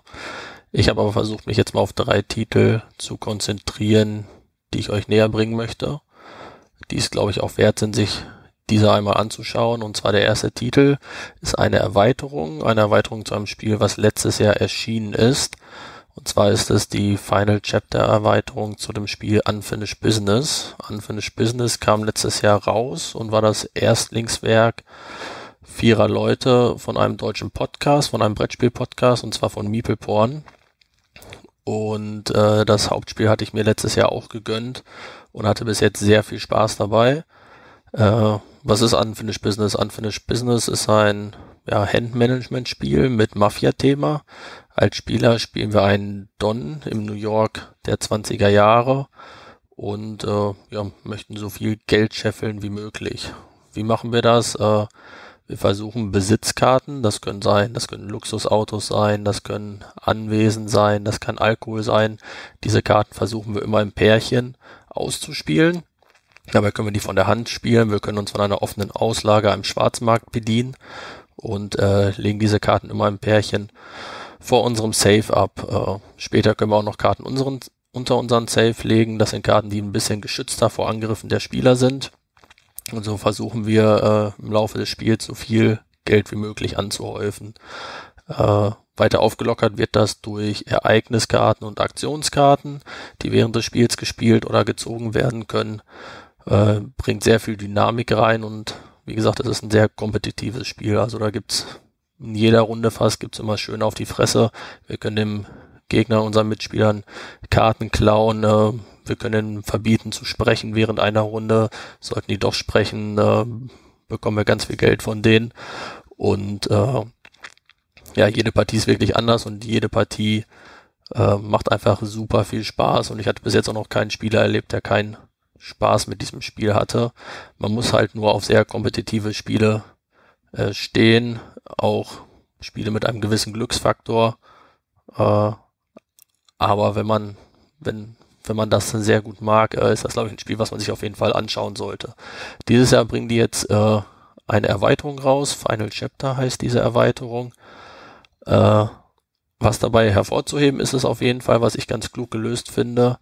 Man kann die Box, also den Deckel und den Boden des Grundspiels, kann man in die Erweiterungsbox quasi als Inlay reinlegen äh, und dann halt auch im Spiel benutzen. Also muss nichts weggeschmissen werden, man hat keine zwei Boxen im Regal stehen, man kann das direkt reinlegen. Es wurde so konzipiert, dass es genau passt, da wackelt nichts äh, und kann das direkt weiter nutzen. Äh, weiter hinzukommen mit der Erweiterung äh, ja, Charakterkarten, wo jeder Spieler noch einen Charakter mit äh, ja, asymmetrischen Fähigkeiten bekommt, die er während des Spiels nutzen kann. Man kann das Spiel mit der Erweiterung äh, mit bis zu sieben Spielern spielen und generell kommen äh, ja weitere Ereigniskarten, Aktionskarten und für den siebten Spieler auch zusätzliche Besitzkarten mit rein. Äh, und was auch noch drin sein soll, konnte ich bis jetzt noch nicht ausprobieren, ist ein Autobombenmodus. Da ist ein kleines Holzauto mit drin, der auch noch ein bisschen mehr Varianz mit in das Spiel bringen soll. Bin ich auf jeden Fall sehr gespannt drauf. Äh, und lohnt sich, glaube ich, wenn man auf kompetitive Spiele spielt, sich das auf jeden Fall mal anzuschauen. Was steht noch auf meiner Liste drauf? Äh, ist auch ein Spiel, was es, glaube ich, schon länger gibt, aber was schwer verfügbar war. Und zwar ist das Comic Hunters von Arcane Wonders. Das war, glaube ich, lange Zeit nur äh, in Brasilien zu beziehen. Und zwar versuchen wir in dem Spiel als Sammler äh, ja, Comic-Hefte zu sammeln.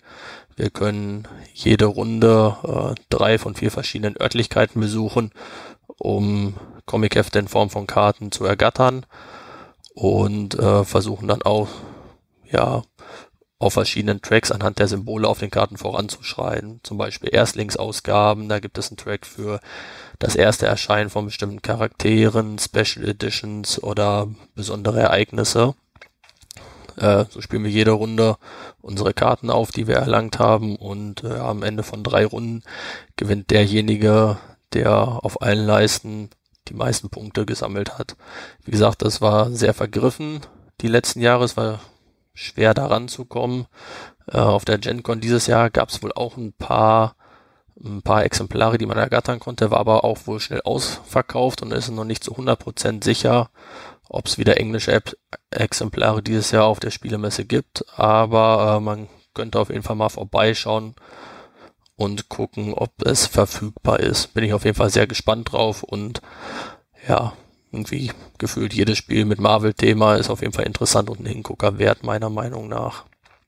Das dritte Spiel, was ich mir rausgesucht habe, ist auch noch nicht erschienen, wird auch nicht erscheinen zu Spiel. Es wird aber bald die Crowdfunding-Kampagne dazu starten. Ich hatte schon die Chance, auf der Spiel doch in Dortmund das Spiel anzutesten. Und zwar ist es das Spiel Quartz von Garden Gnome Games. Das ist ein sehr interessantes Spiel und zwar, ja, den Mechanismus kann man am ehesten mit einem Capture the Flag Mechanismus beschreiben. Hm, ist angegeben mit zwei bis vier Spielern, aber ich glaube erst ab drei Spielern oder sogar vier Spielern zündet es richtig. Äh, jeder sucht sich eine Fraktion aus. Die sind auch äh, sehr individuell gestaltet. Richtig cooles Charakterdesign. Es gibt zum Beispiel äh, eine Fraktion von Wesen, die sich an Nahrungsmitteln orientieren. Da gibt es zum Beispiel die kleine Karotte, den Chili Ninja oder die Käsefliege. Und jeder Charakter bringt auch sein eigenes Aktionskartendeck mit. Äh, und wir können im Laufe des Spiels immer von den verschiedenen Decks ziehen auf die Hand und dementsprechend dann immer die äh, Charaktere aktivieren. Jeder Charakter hat unterschiedliche Fähigkeiten. Es gibt Nahkämpfer, es gibt Fernkämpfer. Der eine Charakter kann sich mehr bewegen, der andere weniger. Jeder hat noch eine Spezialfähigkeit und durch die eigenen Decks äh, gibt es auch äh, ja, sehr asymmetrische Fähigkeiten und Möglichkeiten, die Charaktere zu spielen.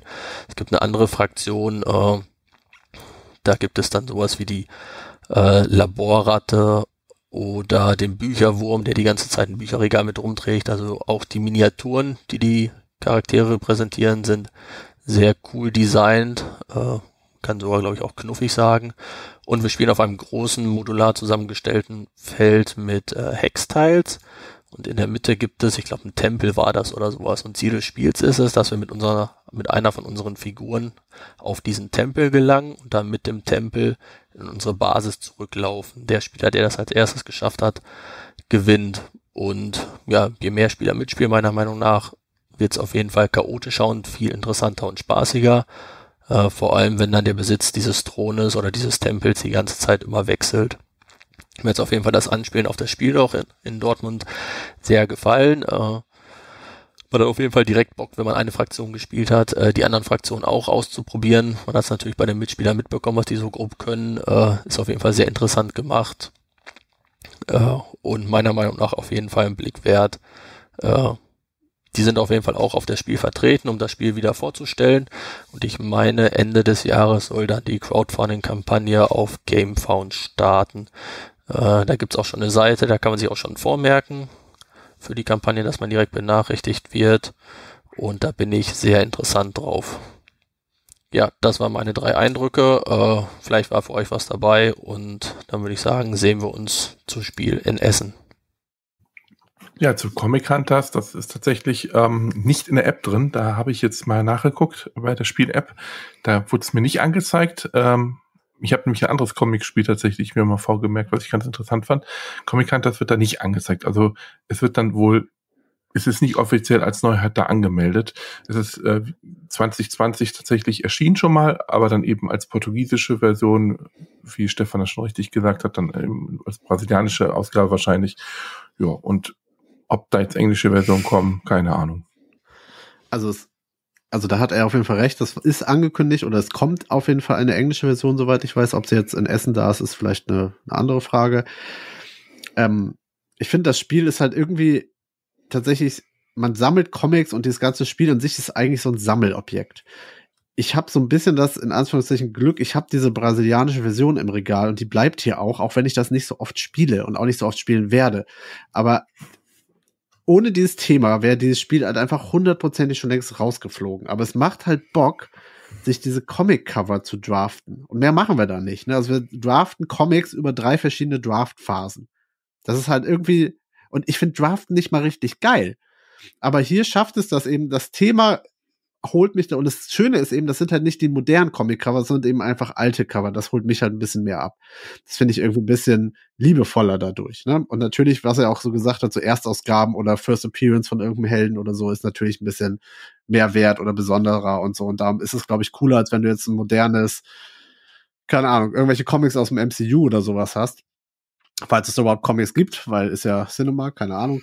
Ähm, also es ist ein Spiel, das einfach für mich vollkommen durchs Thema besticht und auch vollkommen dadurch seine Berechtigung hat und auch dadurch eben so diesen besonderen Charme bekommen hat. Ne? Und wie ich gerade sagte, das ist so ein Sammelobjekt in sich dadurch. Ja, mich hat eigentlich ähm, besonders Quartz irgendwie ähm, bisschen gekriegt, weil diese Figuren, die sehen, also diese, diese, diese Wesen, die er da beschrieben hat, die, die sehen einfach irre aus. Also die, diese kleinen Miniaturen, die sind, also vor allem die angemalten, die es entweder für einen horrenden Preis dazugeben wird oder wo man wahrscheinlich monatelang arbeiten muss, bis die so aussehen. Aber ähm, ich kann nur jedem mal empfehlen, selbst wenn man jetzt an dem Spiel, an diesem, an so an diesem War, ist ja ein Wargame, zumindest wird so kategorisiert, selbst wenn das für einen nichts ist, man sollte sich diese Figuren, und wenn es nur auf Wargame Week ist, mal angucken, weil die sehen schon echt cool aus. Also ähm, gerade dieser Bücherwurm, der dieses Regal mit sich rumträgt und so, ähm, das ist schon witzig. Die Figuren sehen extrem schick und süß aus. Ähm, und ich, ich nehme an, dass die, dass, ich weiß nicht, ob das auch dann, ob das irgendwie so Premium-Figuren sind, diese angemalten da, oder ob das einfach nur welche sind, die einfach sehr gut angemalt sind. Das ist jetzt auch von den Bildern sehr schwer zu sehen. Aber allein, weil ich die Dinger mal sehen will, werde ich mir, werde ich, glaube ich, auf der, auf der Messe mal hingehen, weil die sehen absolut super aus. Die sehen tatsächlich toll aus. Also ich hatte auch die Chance, ja. den Prototypen schon mal in live zu sehen. Ich hatte leider keine Zeit, das zu spielen. Aber es sind einfach sehr liebevoll gestaltete Minis, irgendwie mit auch guten Ideen, also Liebe zum Detail. Ne? Da hat man so das Gefühl, da ist im Herzblut reingeflossen.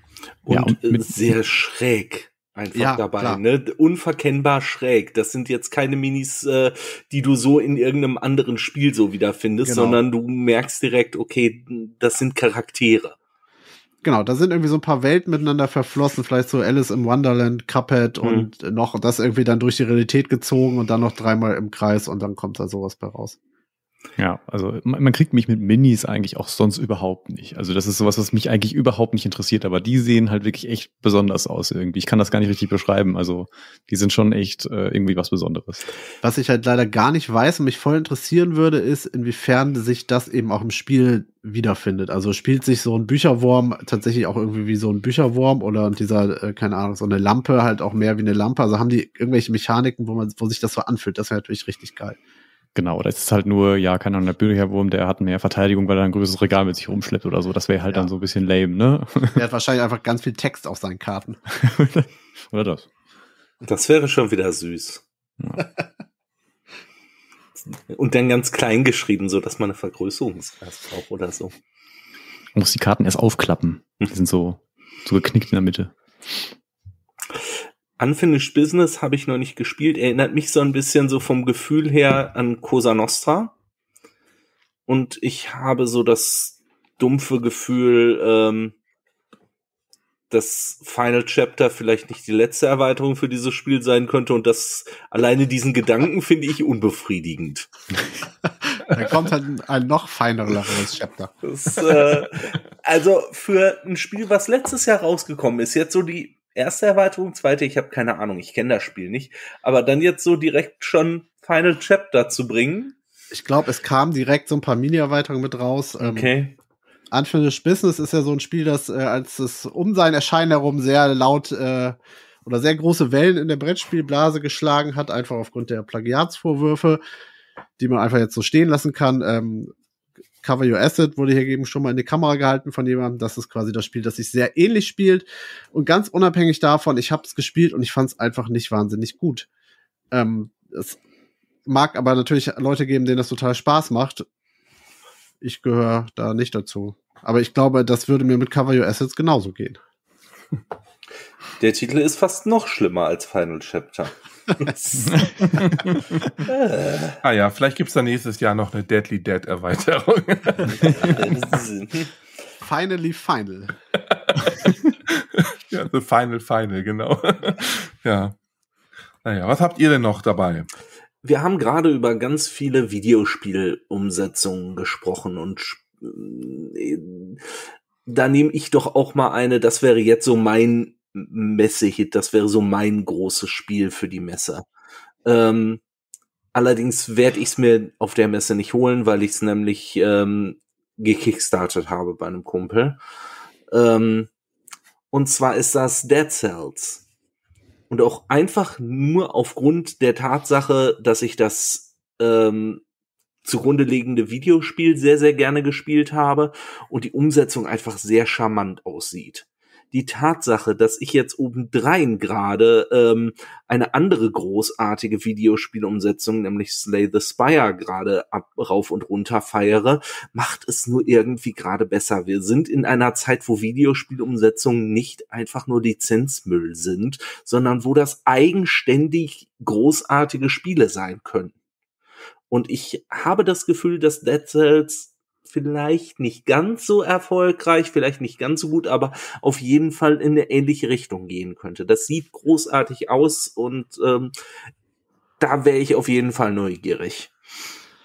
Ich bin so happy, dass du darüber redest und du dir das angucken willst, weil jetzt kann ich mich total entspannt zurücklegen, äh, lehnen. Ich lege mich nicht zurück, ich lehne mich zurück und werde einfach auf darauf warten, was du berichten wirst, weil das hätte ich mir sonst auf jeden Fall angeguckt und wäre, glaube ich, richtig nahezu gestresst, wenn ich da nicht das mal antesten kann.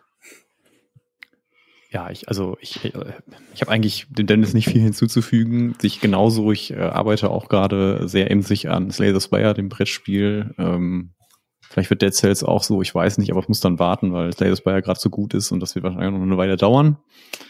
Die Ascensions warten, sind noch eine Menge. Du hast schon welche? Ja. Streber. Ja, also, ich habe äh, die ein oder andere tausend Stunden im Videospiel, von daher. Ah, okay. Ja, egal. Aber Dead Cells sieht auch äh, fantastisch aus und das sieht auch aus wie, auch aus wie so ein Herzblutprodukt, genau wie Slay Spire, das Brettspiel. Ähm, und das, ich, ich glaube, gerade für, für, für Videospielumsetzung ist es gerade die Zeit. Ich glaube nicht, dass es, ich glaube nicht, dass es noch viel besser werden kann, weil das sind so Spiele, die, die sind bekannt, aber halt so klein, so Indies Und dann setzen sich einfach so Teams dahinter, die einfach mega Bock haben, da ein geiles Brettspiel draus zu machen. Das ist noch, das ist nicht diese, wie du schon sagtest, diese Verwurstung, dieses Geldmachen mit einer Lizenz, sondern es ist einfach Leute, die sagen, wäre das nicht voll geil als Brettspiel? Lass mal alles geben, dass das amazing wird. Und das, das ist genau das, was dabei rauskommt. Da muss man aber auch zu sagen, dass dieses Spiel ja schon per se eigentlich sehr Brettspielartig ist von Anfang an in der Anlage, so wie es eben auch Dorfromantik zum Beispiel war, es ja auch schon quasi schon von Anfang die Anmutung hatte wie so ein Brettspiel. Und es gibt halt mittlerweile e-, eben auch immer mehr Spiele, die Brettspiel-eske Anmutungen haben und sich entsprechend auch leichter umsetzen lassen. Ich hatte auf der Gamescom, ah, ich weiß, wie der Titel nicht, weiß nicht, wie der Titel heißt, aber äh, mit jemandem gesprochen, die haben jetzt gerade ein Videospiel vorgestellt, was jetzt demnächst im Herbst erscheinen wird. Und er hatte mir tatsächlich, weil ich gesagt habe, ich komme von der Brettspielseite und berichte halt über Brettspielartige Videospiele, wollte ich halt raussuchen mit Absicht. Und er sagt, ja, tatsächlich ist auch schon in Planung im Gespräch, dass wir das auch als Brettspiel noch rausbringen. Also da ist jetzt mittlerweile auch bei gerade bei so kleineren Indie-Teams so der Gedanke tatsächlich oder die Idee entstanden, da ist auch noch ein Markt, den wir bedienen können, wo wir auch noch mal zusätzlich, wenn eine Marke halbwegs gut funktioniert, ähm, auch noch mal Geld mit verdienen können. Wobei die Autoren bei Dead Cells jetzt ja nun mal wirklich nicht Indie sind. Ne? Da nee. haben sich jetzt schon mal ein paar namhafte Autoren rangesetzt. Mhm.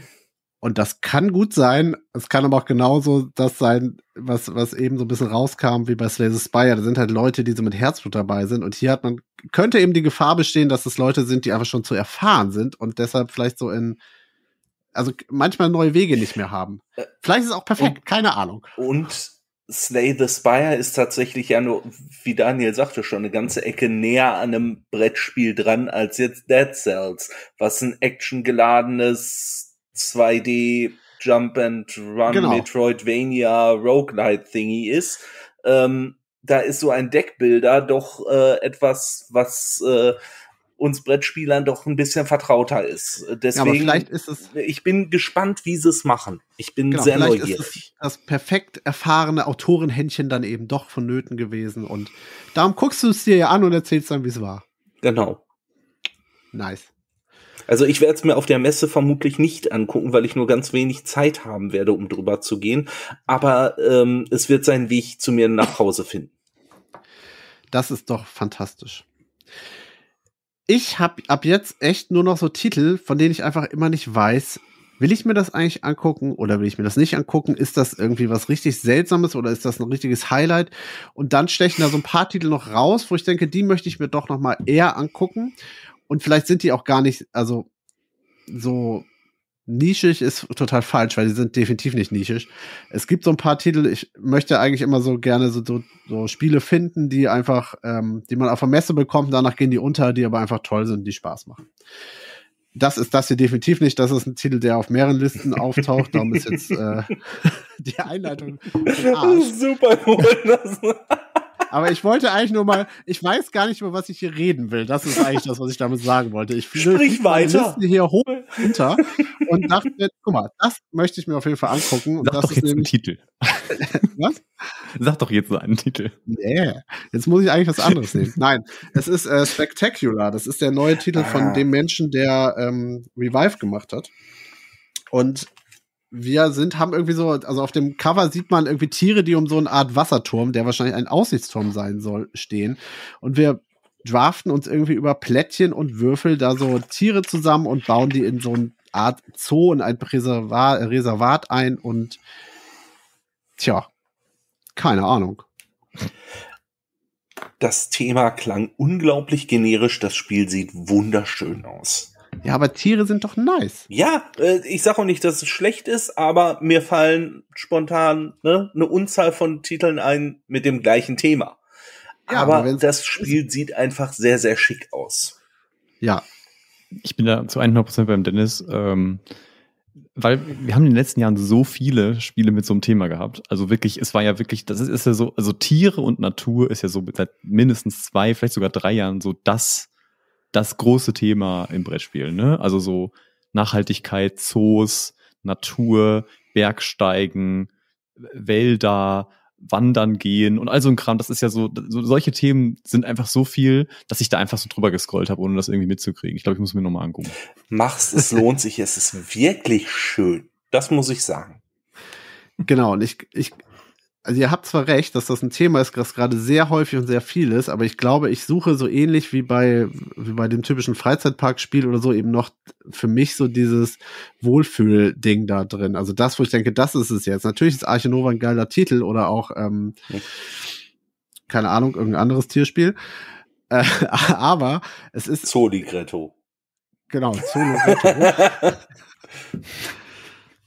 Nein, aber es, ist irgendwie ein Thema, was für mich noch nicht ausgelutscht ist. Das, auf was ich schon noch Bock habe und was mich erstmal kriegt und wo ich Bock, ja, wo ich Bock drauf habe. Und das, genau, es sieht cool aus. Es könnte irgendwie auch ein bisschen mehr sein, als ich sammle da Plättchen hin, sondern ne, die Vorschusslorbeeren durch, durch Revive sind natürlich da.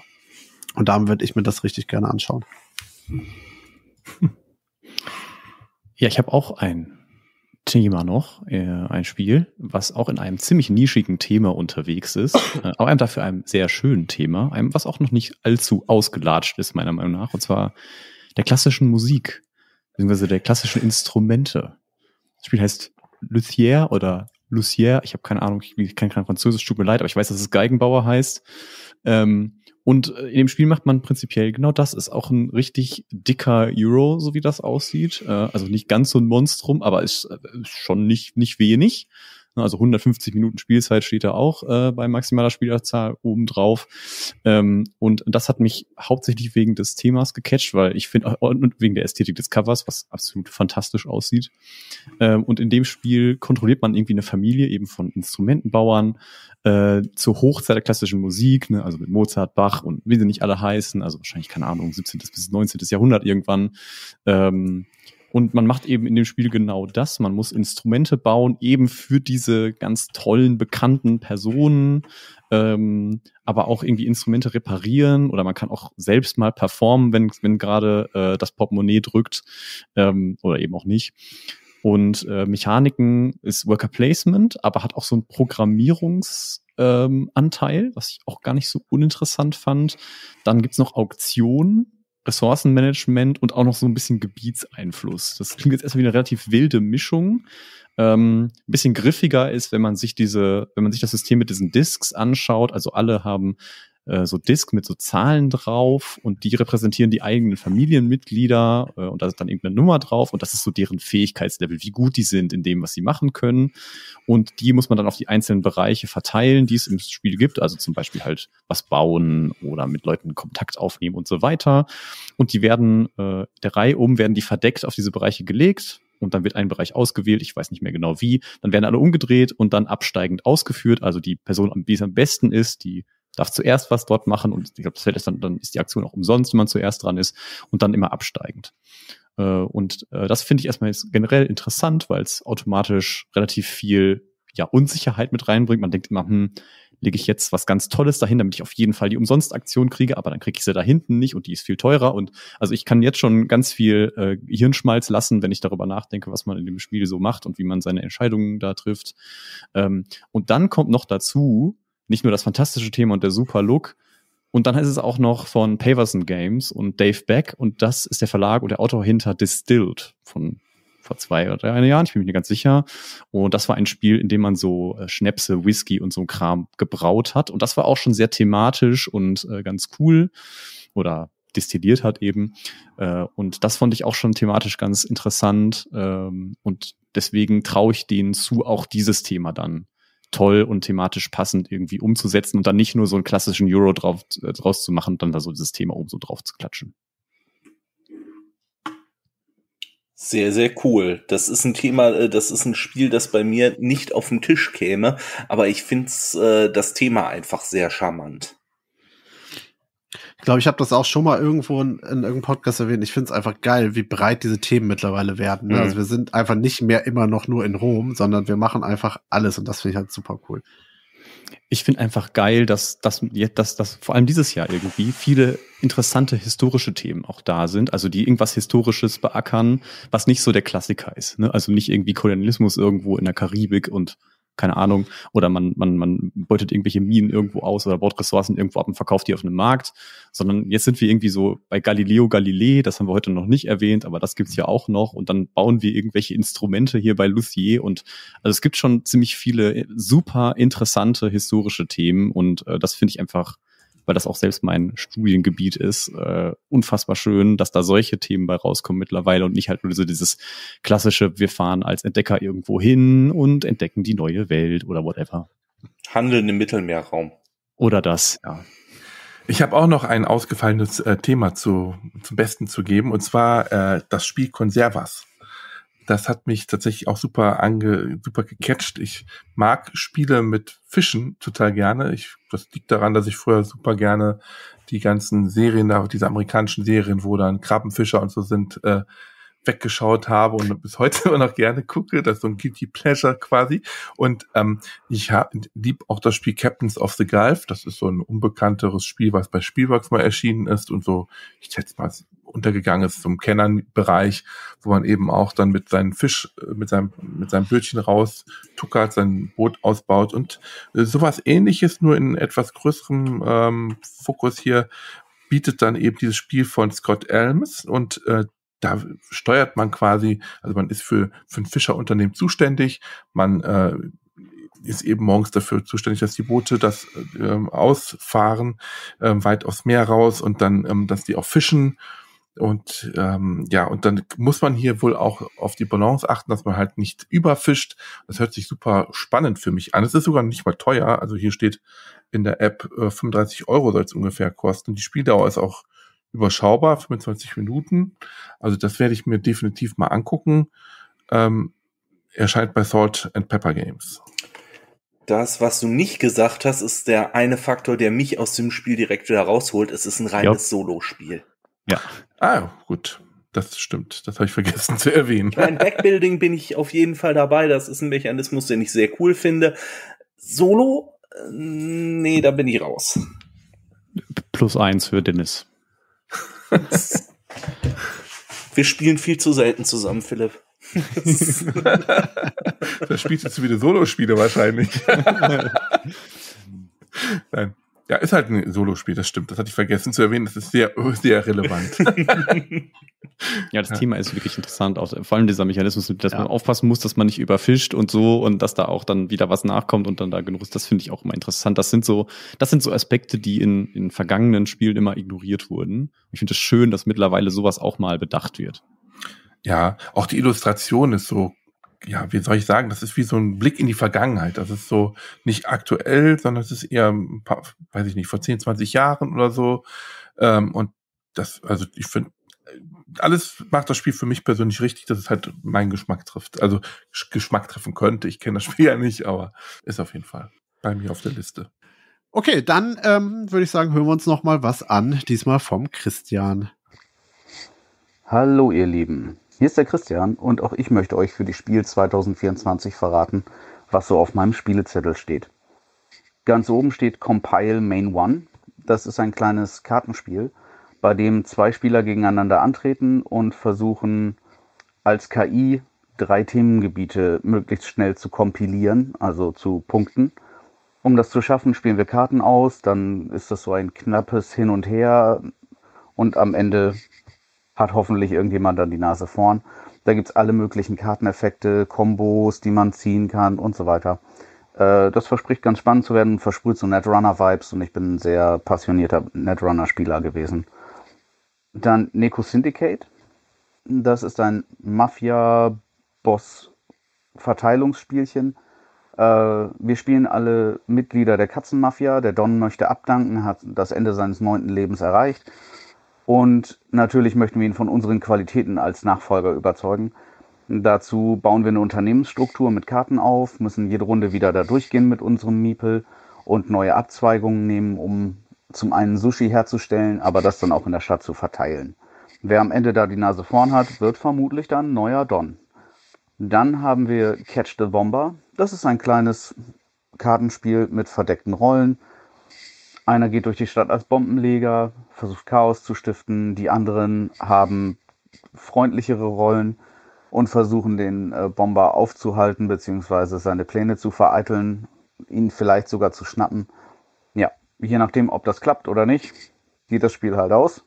Wie man das so von Social Deduction Spielen kennt. Ich äh, bin trotzdem gespannt, ob mir das gefällt oder nicht. Cube Melt, Getting Dicey. Das ist eins, das stand schon sehr früh auf meinem Zettel, einfach weil es so niedlich aussieht. Die ganze Schachtel ist wie ein kleiner Eiswürfel mit einem lustigen Gesicht. Und wir wissen ja, Essen oder generell alle möglichen Gegenstände des Alltags mit einem niedlichen Gesicht drauf äh, sind natürlich total super. Dementsprechend bei CubeMelt spielt jeder einen Eiswürfel. Das Leben eines Eiswürfels ist kurz und wir würfeln tatsächlich. Äh, das ganz Spannende an der Geschichte ist, wir versuchen schnellstmöglich Abenteuerpunkte oder die Liebe äh, zu sammeln und äh, das Ende der Leiste zu erreichen und somit zu gewinnen.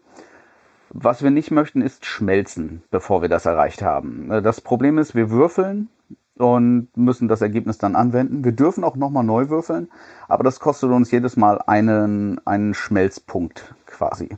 Da geht der Marker so langsam runter. Und dann ist das äh, der Clou an der ganzen Geschichte, nachdem wir mit unserem Würfelergebnis zufrieden sind, bekommt das, was das meiste ist, die Mehrheit unserer Würfelergebnisse, bekommen die Nachbarn links und rechts und äh, das, was weniger da ist, das bekommen halt wir. Da ist natürlich dann sofort die Intention, ich würfle möglichst viele Schmelzsymbole für meine Nachbarn und dann ein bisschen weniger Liebe und Abenteuer für mich. Äh, aber das klappt natürlich nicht immer so. Und das äh, verspricht ganz schön zu werden, gerade für Familien oder halt für zwischendurch. Und es ist so klein, dass es schon fast in der Hosentasche verschwindet. Ähnlich klein wäre natürlich auch wieder Tinderblocks. Das nehme ich auf jeder Messe mit. Von LA Cat Games. Ein kleines, witziges Geschicklichkeitsspiel in einer kleinen, süßen Metalldose wir stapeln Feuerwürfel auf, je nachdem, welche Karte wir gezogen haben, müssen wir das mal mit der linken oder der rechten Hand tun. Wir müssen unterschiedliche Kombinationen ansteinen, mit einer Pinzette zum Feuer hinzufügen, weil Feuer ist heiß. Letztes Jahr gab es da die Marshmallow-Erweiterung, da gab es dann Marshmallows, äh, die man platzieren musste. Das war mit der Pinzette auch nicht gerade leicht. Dieses Jahr kommt die Storm Edition, bei der dann auch noch Wassertropfen mit dazu kommen. Da bin ich auch gespannt, werde ich auf jeden Fall mitnehmen und ähm, ist halt äh, so ein kleines, niedliches Ding, das ich einfach nicht liegen lassen kann. Größer wird es dann bei Explorers of Navoria. Da äh, draften wir zunächst äh, die Karten und nachdem wir das getan haben, draften wir dann noch die restlichen Aktionen. Ähm, das läuft alles darüber, dass wir erst Marker aus dem Beutel ziehen und dann uns eben eine Karte entsprechend des Markers nehmen, den wir aussuchen. Und die restlichen Marker sammeln sich dann alle so ein bisschen und hinterher verteilen wir die Marker, die wir erstmal hingelegt haben, auf die Aktionen, die wir dann vielleicht nutzen möchten. Und ähm, genau, versuchen dann auf den Explorer-Leisten möglichst weit nach vorne zu kommen. Das bringt die meisten Punkte. Und ja, sah letztes Jahr schon gut aus, ähm, hat so Root-Vibes äh, versprüht. Und das möchte ich mir auf jeden Fall äh, nicht entgehen lassen. Hat mich letztes Jahr schon interessiert und dieses Jahr ist es dann endlich käuflich erwerbbar. Ja, und dann so schon fast als wirklich letzter großer Titel, den ich hier noch auf meiner Liste nennen möchte, äh, wäre Conservas. Bei Conservas äh, spielen wir einen Fischer, ist ein Solospiel. Wir fischen jede Runde wieder neue Meeresfrüchte aus dem Beutel und wir müssen uns immer entscheiden, entweder behalten wir das und legen das auf unser Boot und das bringt uns Geld oder wir schmeißen es zurück ins Meer. Dann hat es die Chance, sich zu vermehren, wenn entsprechend genügend da liegt. Darüber können wir dann so ein bisschen steuern, was kommt Neues in den Beutel, was fliegt vielleicht raus. Und wir versuchen natürlich am Ende möglichst viel äh, Ertrag auch für uns bei der ganzen Sache rauszuholen, ohne dass das Meer sich leert. Das ist so äh, die Krux an der Geschichte. Und es ist vom Thema her, finde ich es einfach schön. Und das Material sah auch gut aus. Ich hoffe, ich bin ja eigentlich nicht so ein Solospieler, aber das äh, hat es mir schon irgendwie angetan. Möchte ich auf jeden Fall versuchen. Und dann habe ich noch als allerletztes hier so, äh, so eine kleine Nebenbei-Erwähnung Gateway Island. Das ist ein kleines Spiel, das 21 Spielmechanismen in Minispielen zum Kennenlernen bieten soll.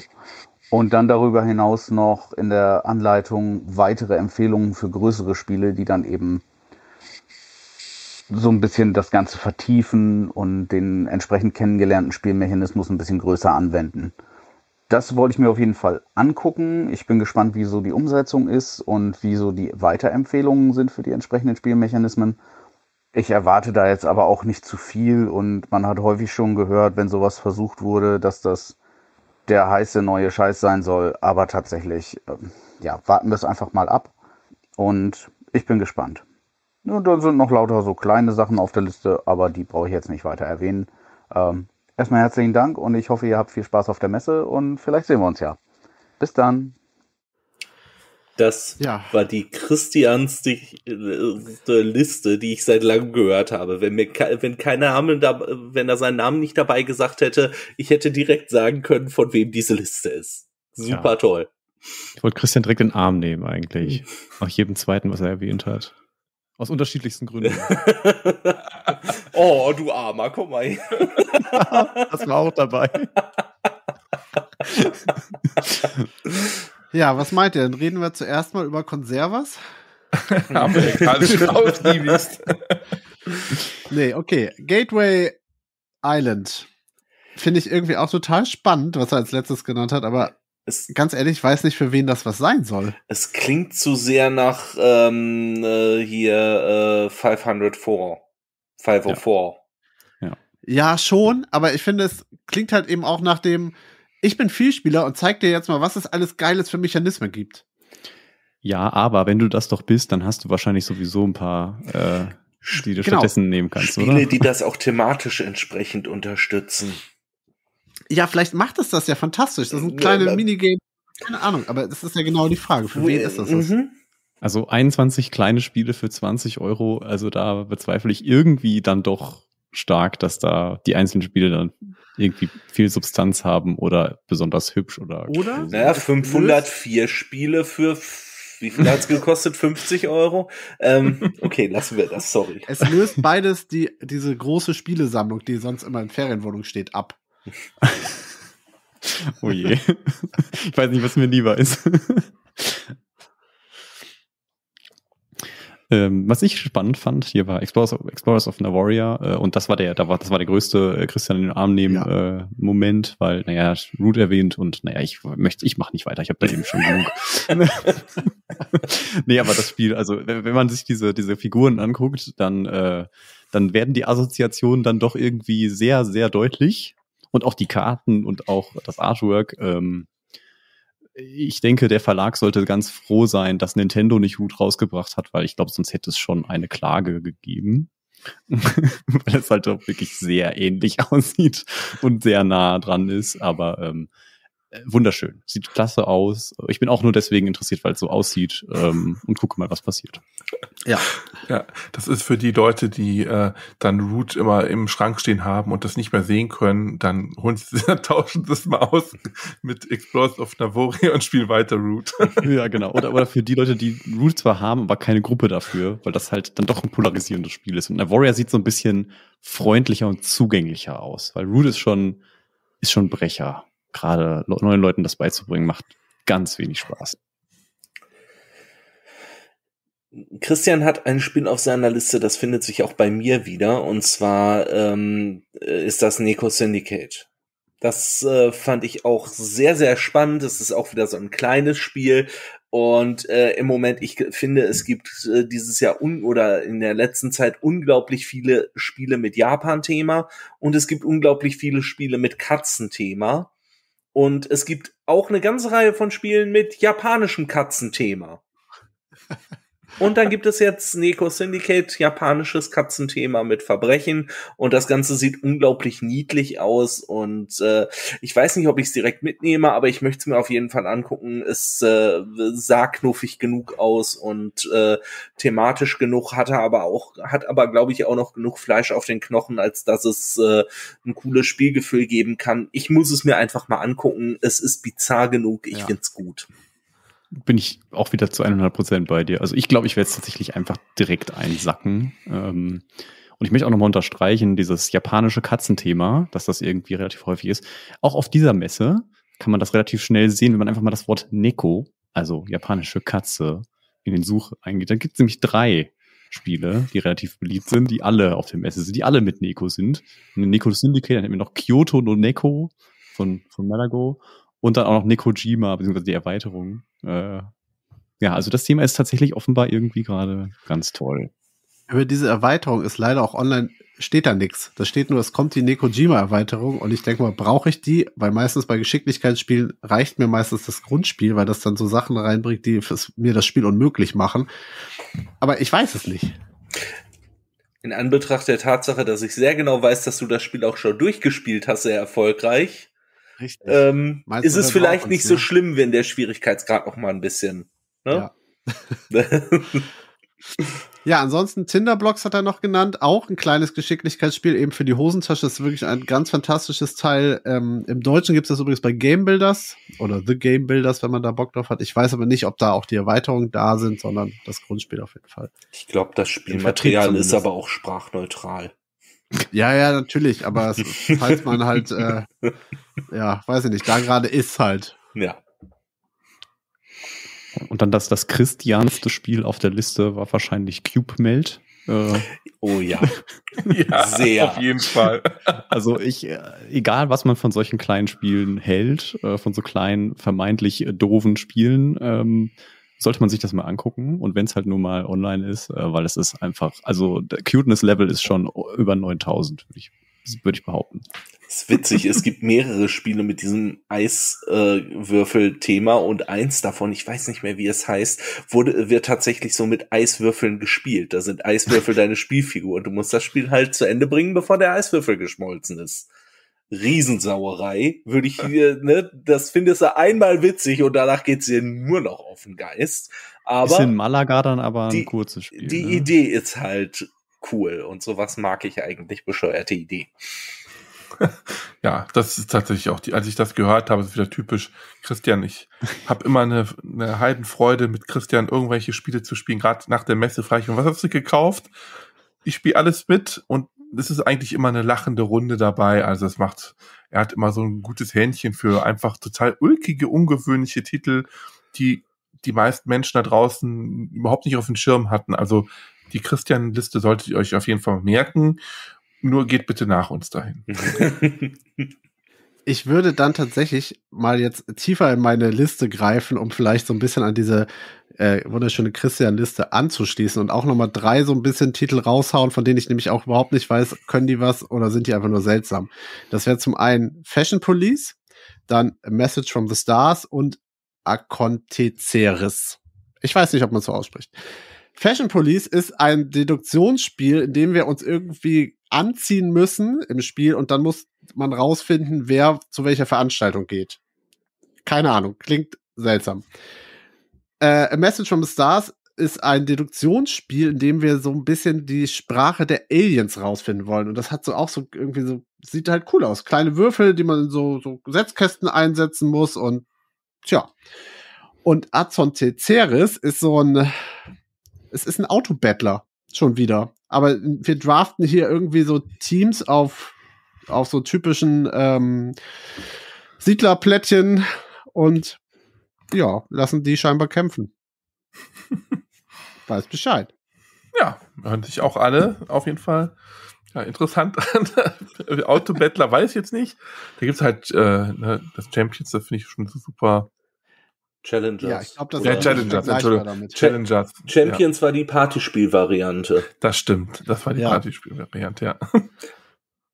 Ein Autobattler habe ich tatsächlich auch auf meiner Liste. Allerdings taucht er auch nicht in der App auf, ähm, sondern nur der Aussteller und das ist AI Popcalypse oder A ja, AI Popcalypse heißt das Ganze. Ist auch so ein äh, Autobattler mit Robotern und äh, klang ganz niedlich, würde ich mir mal angucken wollen. Ist äh, kein, oh, das muss ich auf jeden Fall haben, sondern äh, why not? Mal gucken. Ich habe einfach ganz mutwillig alles übergangen, was irgendwie mit KI oder AI war, weil ich das nicht mehr hören kann. Ich hoffe, dass das kein Thema wird, was jetzt ständig auftaucht. Ich muss sagen, der Titel hat mich auch schon fast abgeschreckt. Ja, und da kann ich auch noch was nennen, apropos Realitätsflucht. ähm, ich bin super heiß auf das Spiel äh, Shu Han oder so ähnlich wird's gesprochen. Das ist ein äh, wieder für zwei Personen Spiel, ein Kartenspiel von Tom Lehmann. Den kann man zum Beispiel kennen von äh, Race for the Galaxy, Roll for the Galaxy oder auch Res Arcana. Alles drei tolle Spiele, wie ich finde. Und er hat noch viel mehr Spiele, die man auch äh, zum Teil echt gut spielen kann. Und da ist die Illustration so Bombe bei dem Spiel. Das ist so ein Spiel, das, das werde ich mir auf jeden Fall anschaffen und da werde ich einfach nur wünschen, das muss gut sein, damit man es auch auf den Tisch bekommt, weil es hervorragend aussieht. Also das Cover ist so eine tolle Grafik, das könnte man sich auch als Bild an die Wand hängen, finde ich. Und auch die ganzen Karten sehen total toll aus. Also da haben hier ähm, die Personen, das illustriert haben, das sind äh, Maxime ähm, Erceau und Ryan äh, Ferriera oder so ähnlich. Äh, also die haben da super Leistung hingelegt, eine super Arbeit. Erscheint bei Matagot und da bin ich auf jeden Fall super gespannt drauf. Peter, das ist eine wunderbare Idee mal für einen Podcast. Spiele mit tollem Cover. ja, okay. Da werdet ihr wahrscheinlich. Die Beschreibung macht immer richtig Spaß im Podcast. Das ist richtig. Verdammt. Da werdet ihr wahrscheinlich auch bei dem Verlag, also bei äh, Metagot oder Metago oder wie auch immer die heißen, werdet ihr wahrscheinlich häufiger landen, weil ich finde, die haben häufig solche Sachen, wo man echt ja. denkt, boah, das mhm. ist aber jetzt echt schon ganz schön beachtlich. Nur leider steckt dann manchmal nicht so viel Spiel dahinter, wie mir häufiger mal aufgefallen ist. Aber was, also optisch ist es Bombe. Also ich habe auch noch tatsächlich, das sage ich jetzt sofort dazu, ein Solospiel mit dabei.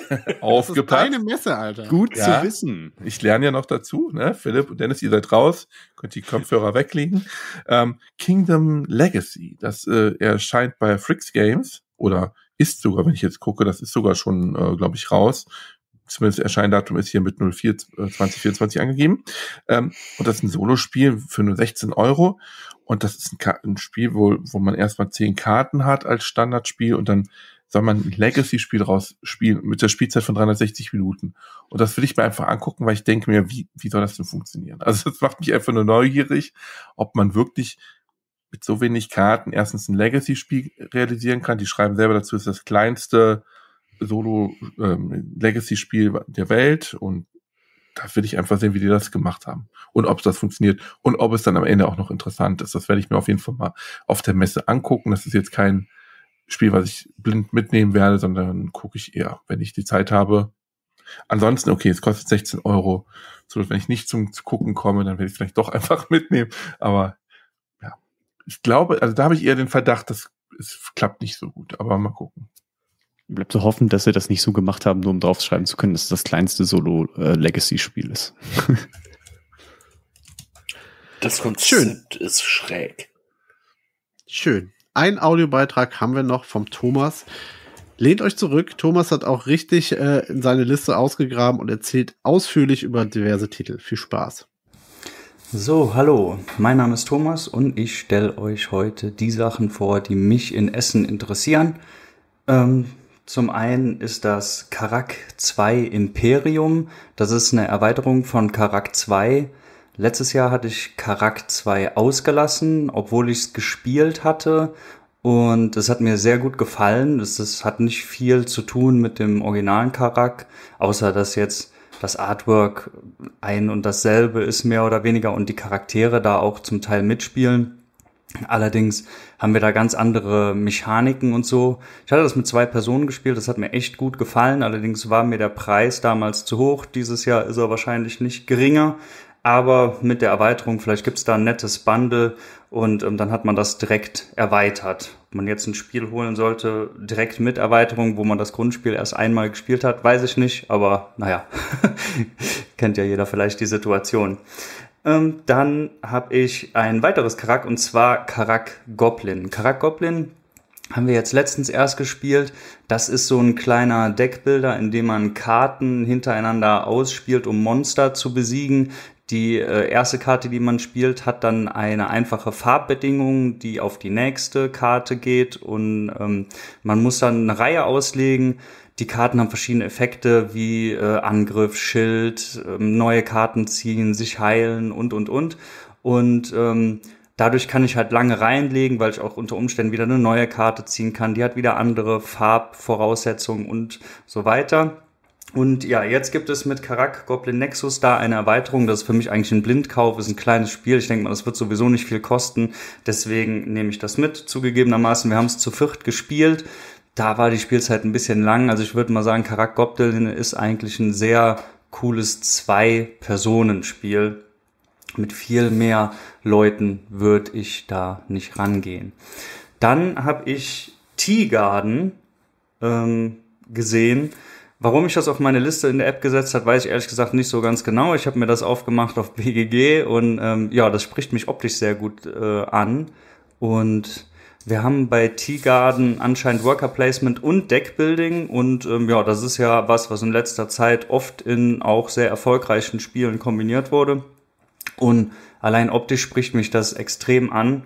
Und ähm, ja, das ist auch von Albi sehe ich gerade. Das heißt, ähm, meine ersten drei Picks in der Halle 2 sind alle von Albi beim Stand 2B631. Wir bleiben in Halle 2, können wir das ja einfach jetzt hallenspezifisch mal abarbeiten. Ähm, das ist Boblins Rebellion.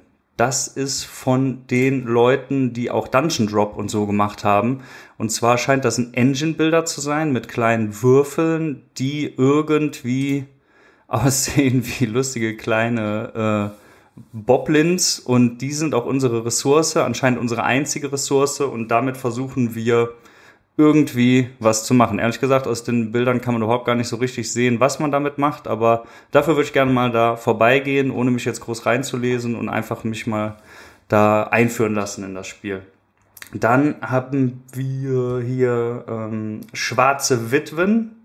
Ähm, das ist von B-Rex Entertainment. Ähm, tatsächlich habe ich da jetzt noch nicht so viel Gutes tatsächlich von gehört. Das Thema spricht mich halt irgendwie an, so verrückt das klingt. Man muss halt anscheinend äh, als Witwe versuchen oder sich selber zur Witwe zu machen und durch das Vermögen, was man dadurch erwirtschaftet, immer mehr Geld zu bekommen, um eine bessere Partie zu bekommen und irgendwann, ich weiß nicht, was war es, den Duke oder so zu heiraten, den man dann wahrscheinlich entweder auch um die Ecke bringen muss oder so, keine Ahnung.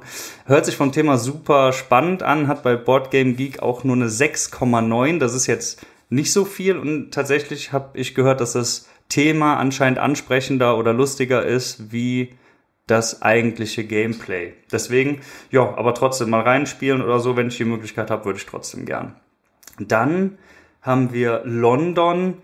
Ja, kurzer Abriss dazu. Ich habe keine Ahnung, was das ist. Ähm, es sieht nach einem komplexen Eurogame aus. Also ich weiß gar nicht, ob das überhaupt bei mir jemals auf dem Tisch landen würde. Trotzdem hat sich das irgendwie interessant angehört, wenn andere Leute darüber geredet haben. Ähm, ist auch B-Rex Entertainment, auch Halle 2. Und ähm, ja, gucke ich dann mal, ähm, ob da irgendwas dabei ist. Dann ähm, habe ich, äh, genau, geht's weiter in Halle 3. In Halle 3 bei Frosted Games. In aller Munde ist ja gerade im Moment überall Andromeda's Edge. Das sieht natürlich sehr episch aus, ähm, wieder nach so einem Riesenspiel. Ähm, das ist auch eher was, was ich mir angucken werde. Nicht wirklich kaufen oder wahrscheinlich nicht das irgendwie tatsächlich irgendwie den Gedanken zu fassen, das zu kaufen, um das irgendwann mal großartig zu spielen, weil mir, glaube ich, für solche Spiele einfach die Spielgruppen fehlen. Ähm, das sieht in der Hinsicht viel zu komplex und überladen aus, aber trotzdem, gerade dafür ist die Messe ja da, einfach mal da reingucken. Dann Skellig Games, auch immer noch Halle 3, 3C 311 ist der Stand. Ähm, ja, Arborea, das ähm, wer da mal das Spielfeld gesehen hat, meine Güte, ist das bunt. Ähm, man denkt so, das ist einfach nur so ein Wimmelbild, wo man Sachen suchen muss. Man verbindet das, also ich persönlich verbinde das jetzt nicht direkt mit einem Spielfeld und auch die ähm, krassen neonfarbenen Karten und alles, was man da hat, das ist halt so extrem bunt dass es irgendwie auch gleich wieder interessant aussieht. Der Komplexitätsgrad ist ähm, 3,69. Das ist auch wieder was, wo ich sage, ja, das würde ich gerne mal spielen und einmal mal reinzocken, wenn ich die Chance dazu habe. Aber wie gesagt, das ist ähm, wahrscheinlich unrealistisch, dass ich das öfters auf den Tisch bekomme. Wobei das auch mit einer Person geht und ich spiele auch gern Solo immer mal wieder. Von daher, ja, ähm, könnte das ja auch noch eine gute Sache sein. Was ich sehr, sehr, sehr gerne mir angucken würde und was mich wirklich äh, interessant stimmt, auch mit einem Rating von 8,3, ist von der Grand Gamers Guild und das kommt auch auf Deutsch von Board Game Circus, ist Endeavor Deep Sea. beziehungsweise Endeavor die Tiefsee. Und ähm, das hat mich optisch total angesprochen. Ähm, wir haben hier einen Komplexitätsgrad von 2,87, ist dann ja irgendwie eher Kennerspiel, nicht ähm, wie die anderen vorherangegangenen Spiele schon. Äh, was ist das gehobene Kenner? Helft mir gerade. Drück mal Pause und sag, was ist es? Kenner und Expertenspiel. So, ja. Ähm, ja, auf jeden Fall ähm, das sieht interessant aus. Irgendwie nach so ein bisschen Exploration, irgendwie, dass ich oben mein Boot habe, ich kann in die Tiefe gehen, da schwimmen dann Delfine und Haie und was weiß ich nicht was. Und ich kann das anscheinend erforschen und so. Und wie auch bei vielen anderen Spielen hier habe ich mich nicht ernsthaft damit beschäftigt. Ich möchte mich eher dann irgendwie an den Tisch setzen und einfach mal da drüber gucken und vielleicht mal anzocken oder so ohne tiefgehend da mir jetzt irgendwelche Reviews oder so anzugucken. Und das sieht wirklich äh, für mich super interessant aus. Dann Torgal. Torgal ist so ein Story-Spiel, aber auch ein sehr komplexes anscheinend, aber ist auch alleine spielbar. Ähm, daher für mich dahingehend interessant, weil ich solche Story-Spiele oder Abenteuerspiele auch gerne alleine spiele. Ähm, das sieht halt auch sehr interessant aus. Da scheint es auch irgendwie ein Abenteuerbuch zu geben und ähm, ja, so ein bisschen Worker Placement mäßig sieht das aus in so einem Klappbuch und so. Scheint viel Text zu sein, kommt, glaube ich, auf äh, Deutsch bei Pegasus, ist von Portal Games, äh, Stand 3K113 äh, und ähm, ja, das äh, hat mich auch sehr interessiert. Da hatte ich mir sogar, glaube ich, mal ein Gameplay-Video angeguckt, das ist aber auch schon was länger her. Ähm, das sah ziemlich interessant aus. Dann gehen wir weiter zu Queen Games bei den nächsten beiden Spielen. Das ist immer noch Halle 3, ähm, Stand 3N411. Und zwar ist das erste von den beiden Nova Roma. Das sieht auch sehr komplex aus. Man muss irgendwie Rom, in Rom irgendwie was machen. Äh, man will irgendwas aufbauen. Nova Roma, you are head of ancient and noble Roman House. Okay, man verkörpert also ein Haus und muss dadurch irgendwie Siegpunkte machen, indem man äh, in verschiedenen Arten und Weise punktet. Ich glaube, man kann äh, bei äh, ja, Gebäude errichten, äh, Seerouten, Seerouten erstellen, ähm, Ressourcen äh, gewinnen und äh, Rennen im Hippodrom machen ähm, und so weiter. Scheint also viel zu tun zu sein. Das Spielfeld sieht auch, ja, auch sehr heftig aus. Also da scheint eine ganze Menge zu tun zu geben. Wie komplex das jetzt ist, ja, 3,13 ist auch schon wieder im roten Bereich, dann eher im Expertenlevel. Ähm, ja, keine Ahnung. Ähm, ist, ist was, wo ich mal gerne reingucken würde, aber ähm, vom Thema her spricht mich fast eher das nächste an und das ist Nassau. Ähm, da gibt es fast überhaupt gar nichts zu. Habe ich in dem einen oder anderen Podcast mal was von gehört von Leuten, die auf dem Queen Games Pressetage waren. Ähm, hat sich interessant angehört. Ähm, das gefällt mir alleine wegen dem Thema schon ein bisschen besser. Ist nicht ganz so komplex angeblich, hat aber auch fast gar keine Bewertung, keine Bilder, gar nichts. Also da würde ich einfach mehr gerne so reinkommen, reingucken. Ähm, als nächstes Walheim, The Board Game. War ein Kickstarter oder Gamefound, ich habe keine Ahnung, irgendwie sowas auf jeden Fall. Crowdfunding. Und ähm, das sah auch super interessant aus. Ich habe mich aber gegen entschieden, das zu backen. Ähm, jetzt muss mal hier den Tab aufmachen. Dazu gibt's genauso wenig dazu wie zu Nassau. Gerade deswegen würde ich es mal gerne äh, mir angucken. Bei Mood Publishing ist äh, Stand 3R112 und ähm, wahrscheinlich ist da eine ewig lange Schlange, weil ich glaube, dieser Kickstarter oder Gamefound oder was für immer Crowdfunding das war, das ist auch komplett durch die Decke gegangen. Deswegen wird wahrscheinlich die Chance, da mal reinzuzocken, relativ gering sein, aber man kann sich ja zumindest mal angucken, gucken, wie andere Leute das spielen. Und ähm, ja, da äh, freue ich mich auf jeden Fall, da reinzugucken. Dann ähm, From the Other Side von Screebubs, ähm, das ist 3x111 und ähm, das ist das Blind Guardian Brettspiel. Blind Guardian lange eine meiner mitliebsten Bands, die ich gehört habe.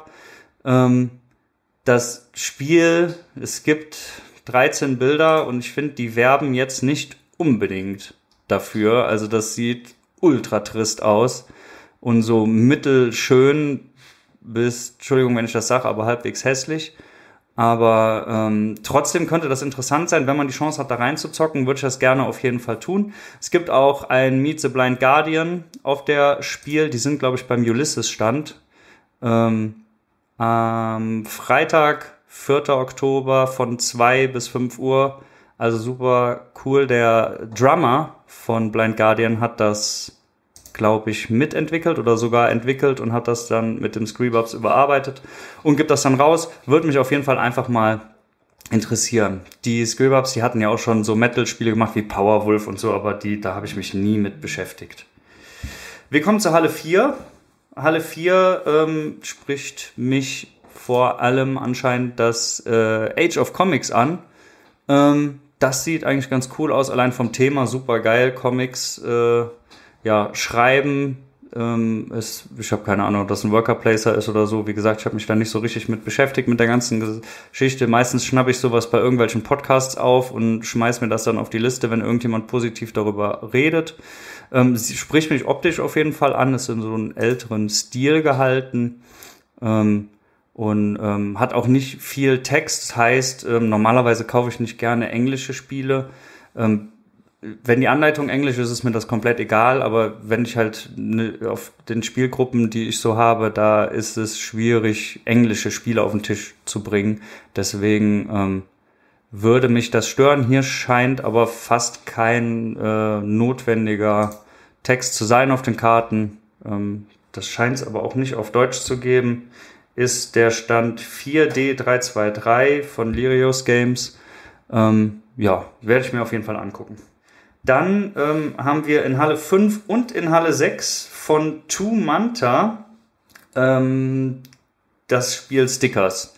Ich habe mir das auf die Liste geschrieben und ich habe ehrlich gesagt keinen blassen Schimmer, warum. Anscheinend hat irgendjemand mal irgendwann gut darüber geredet, weil als ich mir das jetzt angeguckt habe, habe ich mir gedacht, verdammt nochmal, warum hast du das auf die Liste gemacht? Das sieht irgendwie komisch aus. Ich hatte irgendwie im Kopf, dass das irgendwie ein Legacy-Spiel ist oder so, aber anscheinend ist das nur so ein Set-Collection-Spiel mit ähm, wohl niedlich gestalteten Karten, die man sich dann da einfach rauslegt und dadurch ähm, aus der Auslage oder so irgendwelche Effekte triggert. Also scheint das auch so eine Art Set Collection und Engine Builder zu sein. Ja, äh, scheint mich interessiert zu haben. Irgendjemand hat gut darüber geredet, deswegen ich werde mir das angucken. Dann ähm, Nächster Punkt, ähm, das Vorgängerspiel vom folgenden Spiel ähm, gefällt uns eigentlich ganz gut, obwohl es richtig schlecht bewertet ist eigentlich. Auf Boardgame Geek hat nämlich Arschlochkind nur eine 5,7 bekommen.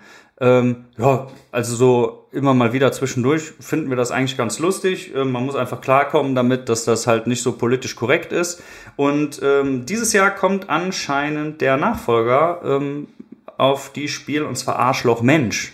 Und ähm, das werde ich mir auf jeden Fall angucken.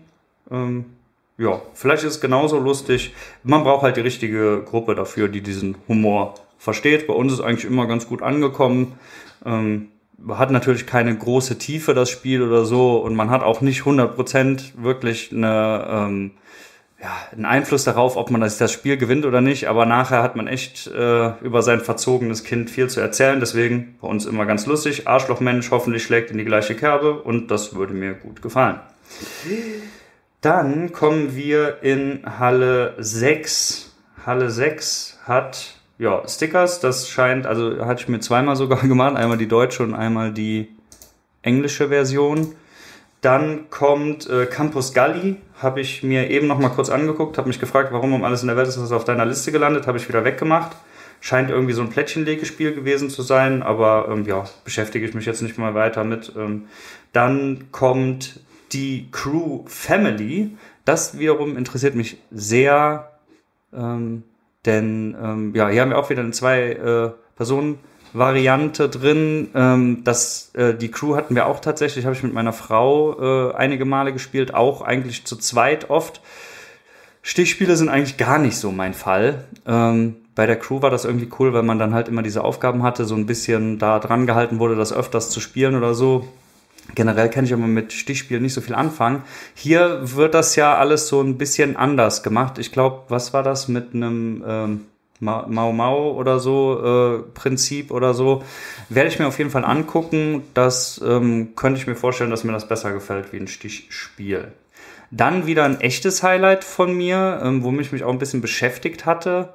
Ähm, das ist Dungeon Legends. Das ist bei Rebel Studios. Halle 6 sind wir immer noch. Ähm, 6D102 ist der Stand. Das ist so ein über fünf Szenarien gehendes Abenteuerspiel mit Deckbuilding-Elementen. Und ähm, wir kämpfen uns einfach durch so einen Dungeon. Ähm, da gibt's jetzt keine Standees oder so, sondern es gibt so ein Spielfeld und da werden Karten ausgelegt. Ähm, wir legen unsere Karten, unseren Helden da drunter irgendwie und ähm, bekämpfen dann die Monster. Wie genau das tatsächlich geht, ähm, weiß ich gar nicht mehr so richtig. Ich hatte mir mal dazu ein Video angeguckt, habe gedacht, ja cool. Ähm, das spielt in der Welt von einem Spiel, was ich mir auch unbedingt mal holen wollte, aber nie getan habe. Das sind die Chroniken von Avel. Also sind dieselben Macher. Chroniken von Abel war ja auch eigentlich ganz gut angekommen bei den allermeisten Leuten. Und deswegen gehe ich davon aus, dass die ihr Handwerk verstehen. Und wenn ich mich hier mal so durch die Bilder klicke, ähm, spricht, mir das, spricht mich das auch an. Gibt's auf Deutsch und in ganz vielen verschiedenen Sprachen. Ähm, da scheint auch nicht so viel Text drauf zu sein auf den Karten, aber auf manchen schon so ein bisschen. Aber wie gesagt, die deutsche Version scheint am Start zu sein. Deswegen werde ich mir das angucken. Dann Meadow. Meadow, das Abenteuerbuch. Ähm, ehrlich gesagt, ich habe keine Ahnung von Meadow. Ich habe Meadow nie gespielt. Das Abenteuerbuch ist irgendwie auch irgendwann mal erwähnt worden. Sieht ziemlich wild aus vom Artwork, irgendwie so Kinderbuchmäßig. Ich weiß gar nicht so richtig, was man in Meadow macht, aber ähm, ich würde auf jeden Fall mal gerne vorbeigehen und mir das angucken. Mehr kann ich dazu gar nicht sagen. Ist auch Rebel, also ähm, muss ich jetzt keinen großen Umweg machen. Dann bin ich direkt da, wenn ich mir Dungeon Legends angucke. Dann kommt wieder was äh, sehr Interessantes. Das ist Superstore 3000. Superstore 3000 ist von Space Cowboys, ähm, ähm, Stand 6D102 und ähm, scheint ein relativ simples Spiel zu sein. Ich glaube, da gab es jetzt auch noch gar nichts zu. Nee, ähm, aber hier steht Playing Time 15 Minuten. Das ist ja so ein richtig äh, kleines Ding, was man anscheinend so zwischendurch mal da machen kann. Ähm, warum nur shoppen, wenn du deine eigene Mall bauen kannst? Ähm, steht einfach, taktisch, spektakulär. Anscheinend baut man irgendwie eine Mall, wo Aliens und äh, verschiedene andere, ja, Außerirdische oder was äh, einkaufen kommen.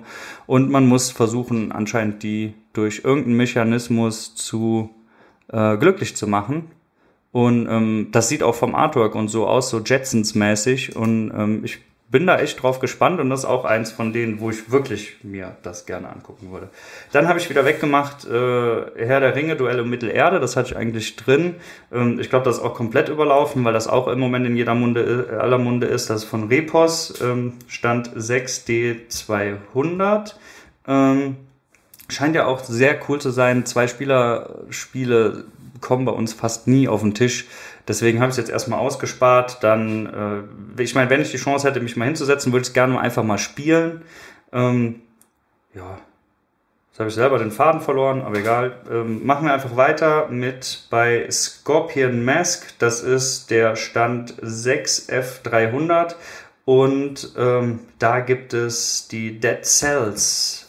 Das Dead Cells Spiel war auch ein Kickstarter, hat mich auch interessiert. Ähm, da würde ich unglaublich gerne mal reinspielen und mir das angucken. Ähm, wirbt mit Explore, Kill, Die, Mutate, Repeat. Also exploriere, töte, sterbe, mutiere und versuche das Ganze nochmal von vorne. Ähm, ist anscheinend so ein Rough Light Spiel. Das heißt, man bekommt immer wieder was, wenn man stirbt, um es dann ein bisschen weiterzukommen. Kann ich mir vorstellen, dass das eigentlich ziemlich cool ist. Der Verlag, da haben wir auch schon einige nette Spiele gehabt. Ähm, lustigerweise fällt jetzt mir kein Beispiel ein. Die Zombie Kids Reihe ist beispielsweise von denen, glaube ich. Und ähm, ja, hat äh, auch nur eine Boardgame Geek Schwere von 2,4, ist also äh, noch äh, nicht so komplex und hat ein Rating von 8,0. Jetzt weiß ich nicht, wie aussagekräftig das ist, weil gespielt haben kann das, glaube ich, noch keiner so richtig. Ähm, ja, ich bin trotzdem mal gespannt und guter Dinge, dass mir das gefällt. Ja, und das waren meine Neuheiten, die ich mir angehakt habe. Generell freue ich mich auf die Messe. Ich erkläre bei Heidelbeer Spiele die äh, verschiedene Spiele. Welche genau weiß ich ehrlich gesagt noch nicht. Äh, das wird sich dann zeigen. Aber wenn ihr Lust habt, könnt ihr einfach mal vorbeikommen. Vielleicht erkläre ich euch dann was. Bis dahin, tschüss, euer Thomas. Ja, krasse Liste. Äh, vielen Dank für den ausführlichen Beitrag. Ja, Tigan haben wir vorhin schon mal ganz kurz erwähnt, weil es eben auch, äh, jetzt müssen wir vielleicht den Namen des Autors auch mal nennen. Thomas Scholleck oder so ähnlich. Thomas Scholleck, würde ich sagen. Kann man vielleicht so aussprechen. Genau, eben der Autor, der auch SETI macht und Galileo Galilei. Genau, bei dem fällt mir auf, auch ein Thema, was jetzt immer häufiger kommt, ist irgendwie China und chinesische Kultur, habe ich so das Gefühl. Kommt jetzt auch immer häufiger. Ist jetzt auch, glaube ich, noch nicht das erste Mal, dass es mir auf dieser Liste äh, entgegengelaufen ist. Aber ich finde, das ist ähm, so ein Thema, das gab es immer irgendwie so ein bisschen, oder? Ja, aber eher so in so obskureren Spielen, fand okay, ich. Also ja. welchen, die nicht so gehypt waren, die nicht so groß produziert waren, sondern eher so, so Nischensachen. Das ist ja, also ich meine, das ist auf jeden Fall, da warten eine Menge Leute drauf, glaube ich. Auch wenn Albi ja. jetzt nicht der größte Verlag ist, glaube ich, zumindest nicht hierzulande. Äh, aber das ist mir jetzt auch schon häufiger aufgefallen. Auch so ein Thema, ich beobachte immer so Trends und das könnte vielleicht auch ein neues werden. Äh, Weil aber auch finde. Tee so ein Thema ist, was ja auch schon immer wieder auftaucht. Ja, also ja genau, Tee. Äh, ja. Und Genau, dann, äh, ja, okay, mach du erst. Ja, ich kann noch was zu Endeavor sagen, dass, ähm, also ich, ich habe hier tatsächlich das Endeavor Age of Sail bei mir im Schrank stehen. Ich habe es mal mit äh, Freunden gespielt, fand es hervorragend, habe es mir dann auch besorgt. Hab, glaube ich, sogar noch eine Erweiterung hier stehen und ich habe seitdem nicht gespielt. ist ein Kandidat für Pile of Shame. Äh, kleine, ja, wer bis hierhin durchgehalten hat, ja, und dann irgendwann mal die Pile of Shame Folge hört, der weiß dann schon Bescheid, worüber ich spreche. Ähm, auf jeden Fall, das ist ein klassisches Spiel. Ich habe so toll in Erinnerung, dass ich es unbedingt wieder spielen wollte. Es hat eine super Produktionsqualität und ähm, jetzt ist ja dieses Deep Sea im Prinzip das Spielprinzip gepackt von über Meer einfach nach unten, dass man quasi ins Meer absinkt und hier so einen Tauchspielcharakter hat. Da bin ich mal gespannt, wie die das gemacht haben. Es hat jetzt schon ähm, hat schon fast 300 Bewertungen und das ist aktuell bei 8,3 auf Boardgame Geek. Also es scheint bei den Leuten, die es jetzt gekauft oder unterstützt haben, auf jeden Fall sehr gut anzukommen. Und, ich glaube, äh, es hat auch unfassbare Vorschusslorbeeren eben aufgrund des Vorgängertitels und soll eben dem auch gerecht werden. Ne?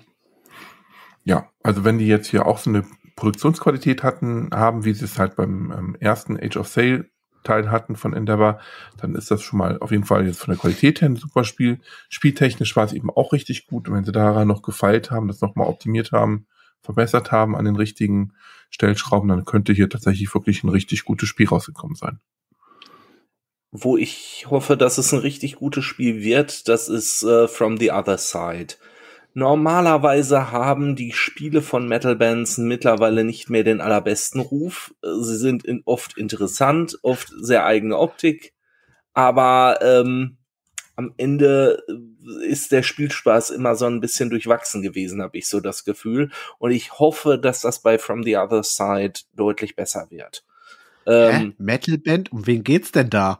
Naja, Blind Guardian und die liefern auf jeden Fall den passenden Soundtrack für das Spiel, finde ich.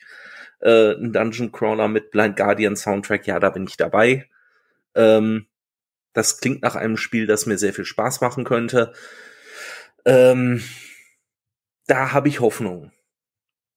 Nachdem ich schon mal, ja, nach, nachdem ich schon mal eins von diesen besagten Metal-Spielen rezensieren musste und das, glaube ich, bis dato das Spiel ist, was ich mit Abstand am schlechtesten rezensiert habe. Ich glaube, es war irgendwas mit 40 oder so.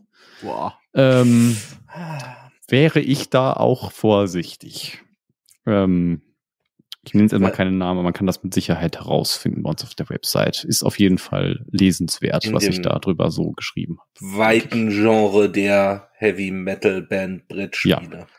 Ja. Ich hätte da aber auch genauso viel Sorge. Ne? Mhm. Also das hatten wir vorhin ja auch so ein bisschen, dieses Thema, dass IP-Spiele ja irgendwie oft schwierig sind und das geht mir hier genauso. Ich habe immer das Gefühl, das ist so ein Fanservice und dann ist es für einen Fan ist es einfach ein Must-Buy und gut ist.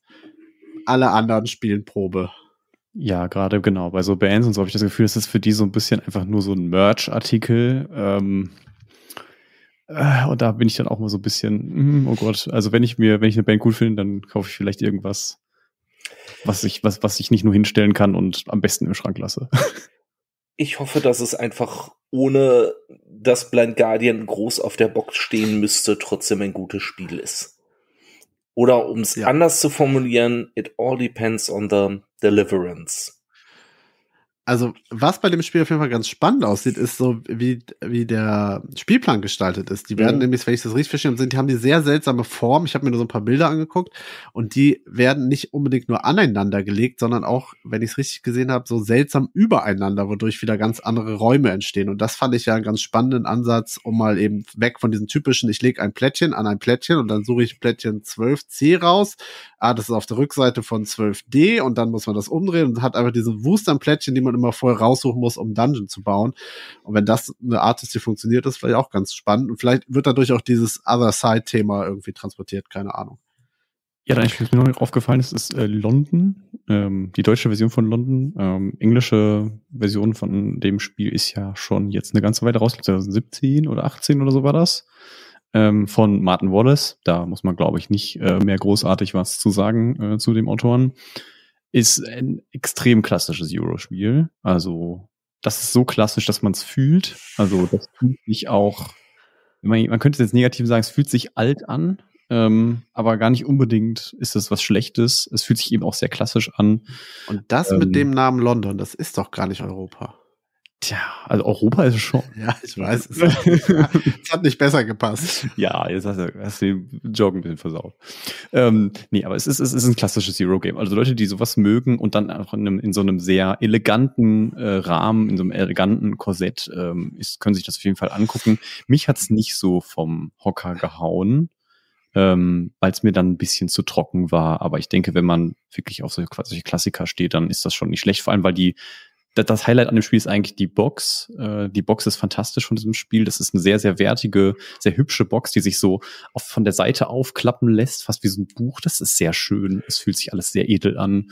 Ähm, ja. Du machst gerade keine Werbung für das Spiel, in dem du sagst, das Highlight des Spiels ist die Box. Ja, das ist leider das Positivste, was mir eingefallen Nein, das stimmt gar nicht. Nein, das Spiel ist, nein, das Spiel ist nicht, ist es nicht schlecht. Ähm, es, ist, es hat mir schon gefallen, aber es war mir einfach dann nicht genug. Es war dann, äh, für mich war es schnell ein bisschen semi. Ähm, und das ist, obwohl ich eigentlich solche Klassiker mag. Aber vielleicht war es auch einfach nicht meine Richtung. Das kann ich jetzt nicht mehr sagen. Ich glaube auch, dass ich, wenn ich ein Hero mit britischem Thema äh, spielen wollen würde, was bei mir selten genug vorkommt, aber wenn, dann würde ich, glaube ich, eher zu Obsession greifen als zu London.